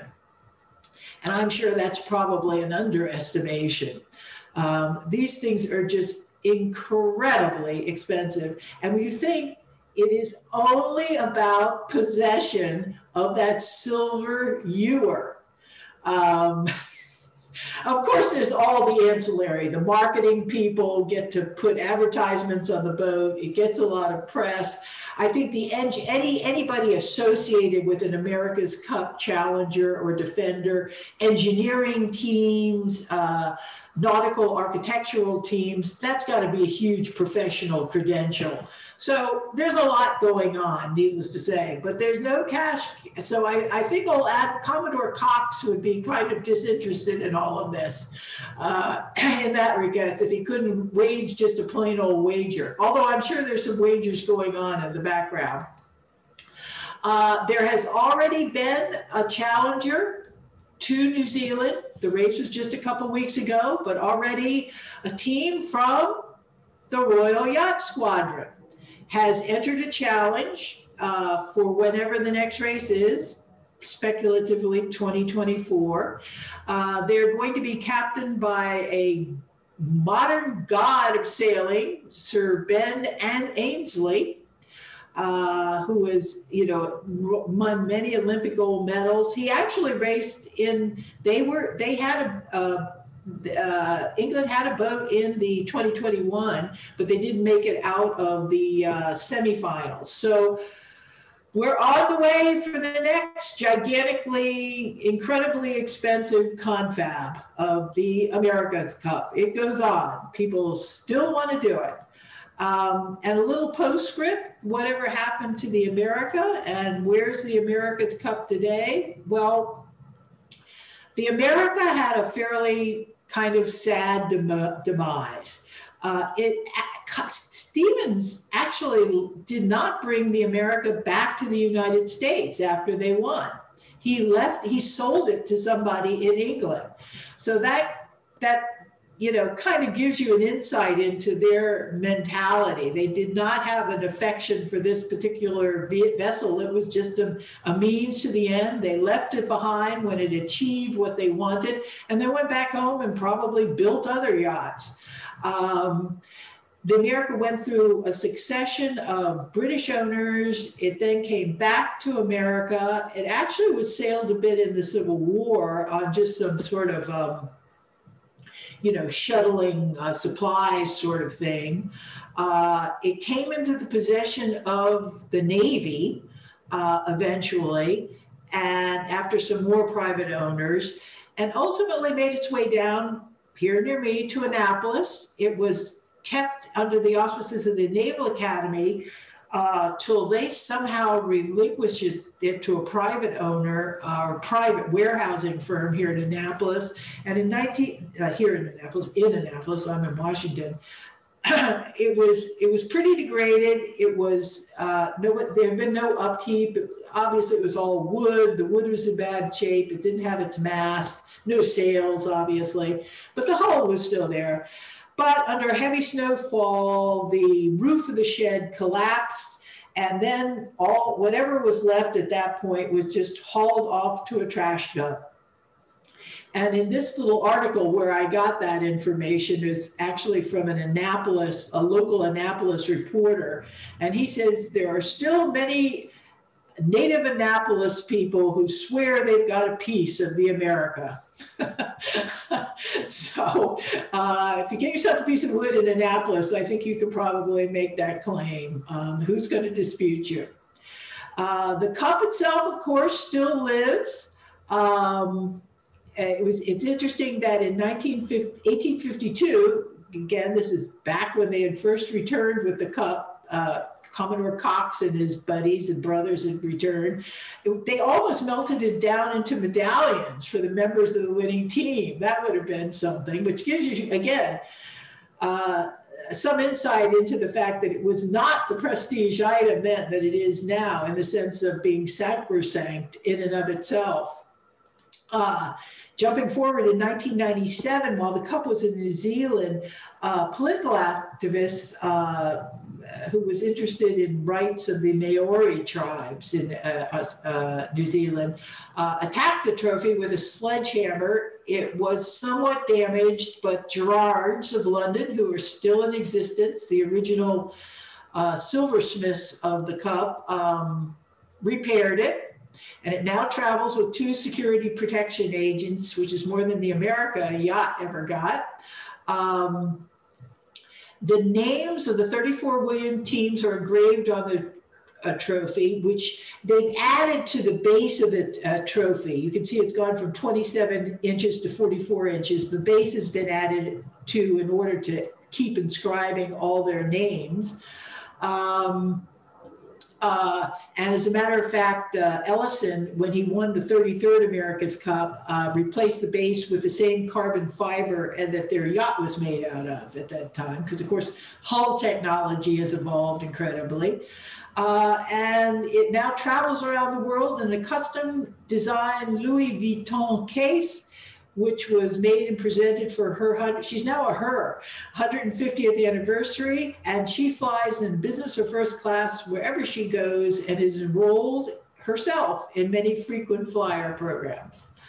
Uh, and here's the team just a couple of weeks ago, the New Zealand team, the Cup. It, its, loca- its specific location may be undisclosed, but its general location right now is Auckland, New Zealand. Um, and there it is after 170 years. And if you happen to be in Auckland, New Zealand today, actually yesterday, given the time difference, uh, you can see the cup uh, along with a 80% off clearance sale of Emirates team, Emirates team memorabilia. So the marketing goes on. And uh, that's the end of my presentation. Okay. Very interesting. Yeah, it's a lot of new information. I, I only had vague idea, occasionally looked, but never realized how advanced it's so uh, nowadays. Why is it called Emirates uh, team? Uh, I think because there's a company, it may be a technology company, like a teletechnology, telecommunications company uh, in New Zealand called Emirates. So they call it the Emirates team uh, boat, um, kind of like Ellison and it being Oracle. But the boat sails on behalf of the New Zealand Yacht Club, because again, remember the protocol of the gift of deeds is it's only a yacht club that can challenge. So basically, these businessmen approach a yacht club and say, if you all challenge, will bring the boat. And of course, they bring the boat with all their advertisement all over it. well, I think the uh, the Emirates. I don't know if you know, and I can check that on Google. But there is uh, Man City. Is also uh, Manchester City soccer club. He's being supported by um, Fly Emirates, and I think maybe, yeah, maybe that that related because I think Saudi Saudis are trying to divert from the uh, oil needle to other uh, perspective, which is sports management and um, and other things like investments. I know they own like uh, sixty uh, percent of Mercedes these days. and so yeah. it's it's it's crazy. Uh, they might be off the needle soon, off the oil needle. So who knows? you know. Uh, yeah. Yeah, so no, that's exa- I think you're exactly right. There's some, you know, global conglomerate. Um, so yeah. Uh, this was incredible. I, have actually learned so much. And now I'm yeah, gonna... it's very, it's amazing. Yeah. it is. That's why I wanted to do it because, uh, why I suggested doing it because it's more interesting than you might think in yeah. modern times, you know. Um, you also will be presenting, um, I don't remember which date, I think it was in, in July, right? Or May? Uh, June or July, yeah. Right, uh, is how the, the transference of Aristotle back to Europe from Arab lands. I'm thinking we should probably, just to get more people in, uh, change it to maybe, um, if, you, if, you, if you want, and it's up to you, philosophy um, in Arab and Europe, European lands, you know, we can say like 700s or 900s, whenever that happened, and something like that. And then this way you can talk about Aristotle, and then we can have Aristotle, in a, you know, in a, in parentheses that we'll talk about specifically Aristotle, but this way it would get like a more broader subject of philosophy. Whatever. I mean, I, I, you know, I like I said, I like smaller groups, and uh, and I will I will be kind of focusing on the mechanics of it rather than the actual um, substance of the philosophy. In other words, I want to try to trace what is kind of the, you know, almost like the manuscript trail from whenever Aristotle committed this stuff to writing, presumably, how did it move um, through Greece, through Egypt, through Arabia, uh, various routes into Europe, not just the one that you know is the traditional narrative. So that that's what I'll kind of be looking at more. So, you know, rephrase it however you want, but it won't really be about the substance of the philosophy. Um, and you know, if that's a smaller interest group, that's a smaller interest group. But it's kind of like the America's Cup. I think it's more interesting than you might than you might think, and I think it's key to know so that you know we have an idea about what are we talking about? Are we talking about fragments? Are we talking about entire coherent pieces? Are we talking about seven, eight hundred year gaps? where there was nothing and then all of a sudden there's something. Well, what does that mean about that something that just appeared 700 years later? Uh, so it, it's more. Um, you, you know, you might almost call it like um, detective work about the manuscripts of Aristotle from when he wrote them to uh, to modern times. Uh, and the other thing too is that it also gets to the you know the standard narrative that Aristotle uh, and Plato uh, came to Europe out of nowhere from, you know, first from Spain, um, from uh, from the Arabists, uh, and but then also the Medici and you know um, Italy and the Medici's, you know, brought Greek philosophy, and we had the Renaissance. Well, that you know, needless to say, is very reductionist as to what right what what the evolution and i just think it's worth going through once so everybody's heard it like when you hear people make these assertions um, kind of put it in this context a little more context of exactly.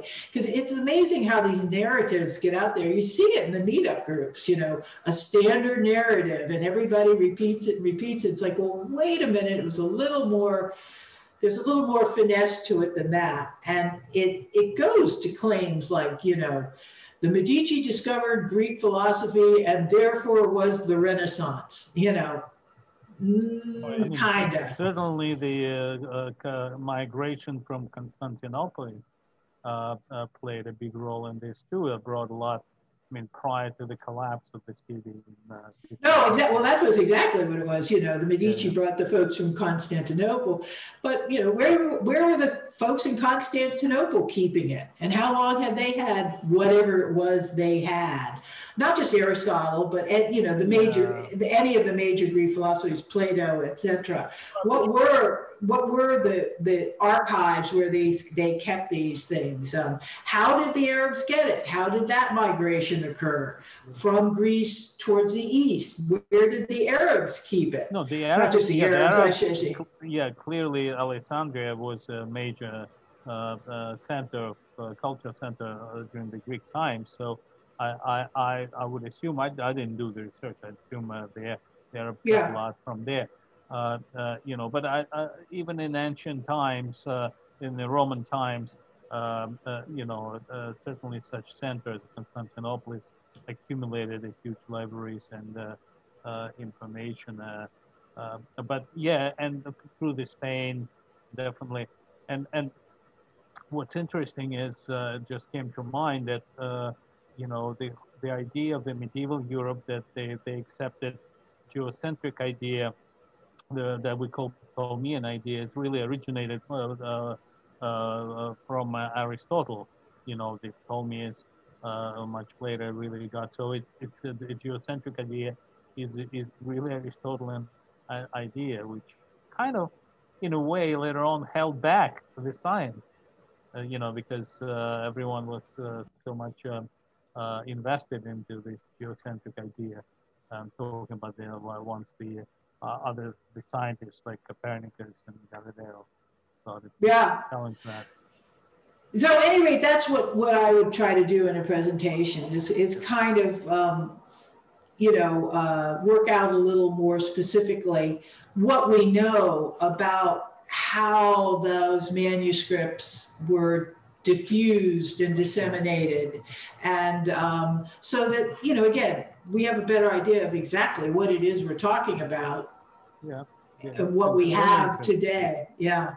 Yeah. yeah. So I'm gonna do. I'm gonna do a little bit of description then um, on the uh, on the thing. I won't change the subject matter. I'll just you know give it a. Yeah, yeah. I think that I don't want anybody to be disappointed. I don't want to do any well, false advertising. No, it's it is very interesting. Uh, but to me, Just, uh, people, I, people, you know, I don't know about the date. Uh, you know that uh, I think I have something else. I think, yeah, well, you, you know, Zach can switch it around, I guess. And I wanted to delay it a little because I have to do a little more research. I mean, I don't, you know, unlike the yeah. America's Cup, which is kind of fun and I, I know a little bit about it. I knew a little bit about it starting off and had an idea of how I wanted to do the story. Yeah. This would be kind of new stuff for me. And, and, you know, so I want to, I want to be accurate. Um, um, uh, maybe not now. Maybe you can think about even September or August. But I want to do um, spy agencies, the world spy agencies, KGB, Mossad. My goodness. CIA, you know, um, 007, whatever it is, the Scotland Yard. you know, do all those spy agencies and kind of like a do like an overall overview. Would that something interest you? And maybe in August or September or something like that. In overall. I, I think you get a lot of attendees for that one if you if you told people widely. And uh, got frozen again. I think. Oh. James Bond aspect of it, etc. Yeah. James, James where, where, do you where do you where do you live? Uh, are you um, downtown Manhattan? No, I'm uh, uh actually at Lincoln Center. Oh, oh my building is actually on top of Lincoln Center, a part of Lincoln Center. Um, so that's where I am. But uh, in the summer, um, if I'm not on these videos, if I'm not doing some sort of work, um, I'm out sailing. So you're all very okay. welcome to come out. yeah, I kind of I have this malware on my you know scanning system on my device, and I have it set up pretty high where it scans every couple hours. And I think when that scans, um, ah. it pops me off. But I always consequently you, get You could schedule it uh, when uh, at night, uh, you know, once. I, I know, like I said, I, I have had some, um, you know, work stuff that involve like ah, I see. You other and yeah, and I, I, was like I'm gonna I'm gonna kick this thing off to where I'm uh, it's scanning like every couple hours just for the heck of it. And you know that's that's always a trade-off you know? You're more secure but a little less convenient things happen. But I've sort of left it in that. And as long as I can pop right back on it's it's not a problem. Sure.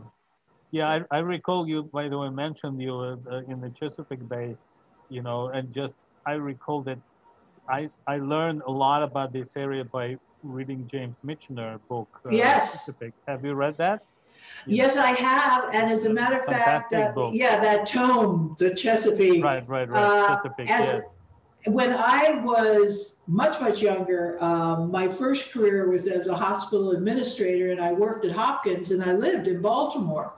Uh, and uh, once I went to a restaurant in Baltimore. It was kind of an, an old established restaurant, not the normal place I would go, uh, with some friends from, from colleagues from work. And um, it was so, the, the restaurant was so old fashioned that if you said you wanted scotch, they literally brought a bottle of scotch to your table. and it was like an honor system. You know, you would just tell them at the end of the meal, I had three how, shots. How much you drink. yeah, but it wasn't a bar, it was a restaurant. It was fancy white tablecloths and bouquet. But I remember sitting at the table and my friend said, Look over there in the corner. And I, yeah, turned around, hopefully politely, and stared and said, Yeah. He goes, That's James Michener. Really? Yeah, he, wow. yeah, he was there, and you know, because he was he moved. I don't know if he lives permanently, or I'm sure he's passed away now. I don't know. Um, he he lived in the area while he was writing that book. But, I, I, yeah, I think I, that's his. That's why he's so good because he goes and lives for a while in the area to really understand. That's why Yeah. he is so uh, amazing. Uh, you know, his work. I, I I read a lot of his books. They're huge. Uh, many people are intimidated, but um, I, I've No, they're very readable. liked them. Yeah, Yeah, oh, yeah, yeah. Of course, of course they are, but because they are like thousands. Yeah, pages. because they're thick. Yeah. Yeah, yeah, people are like, what? Yeah, no, Hawaii is fantastic. Right. Yeah. Yeah. Oh, yeah. Yeah. A lot of it. I, I read um, uh, most of them that has to do relevance to the places. Uh, you know, I think yeah, Hawaii is great. Uh, the- source. That's a uh, Yeah. That's a very interesting book. No, yeah. Um, Yeah, by, yeah, by a non-Jew. Uh, which is a- Yeah. but yeah, he, he but he always uh, uh, right. He also Poland. He wrote book Poland. They're very good um, and uh, about South Africa, the Covenant. Um, fantastic book. Uh, uh, I think yeah, Hawaii was actually my first book that I read by him. Yeah. he's- No, he's uh, he's amazing, and you know, having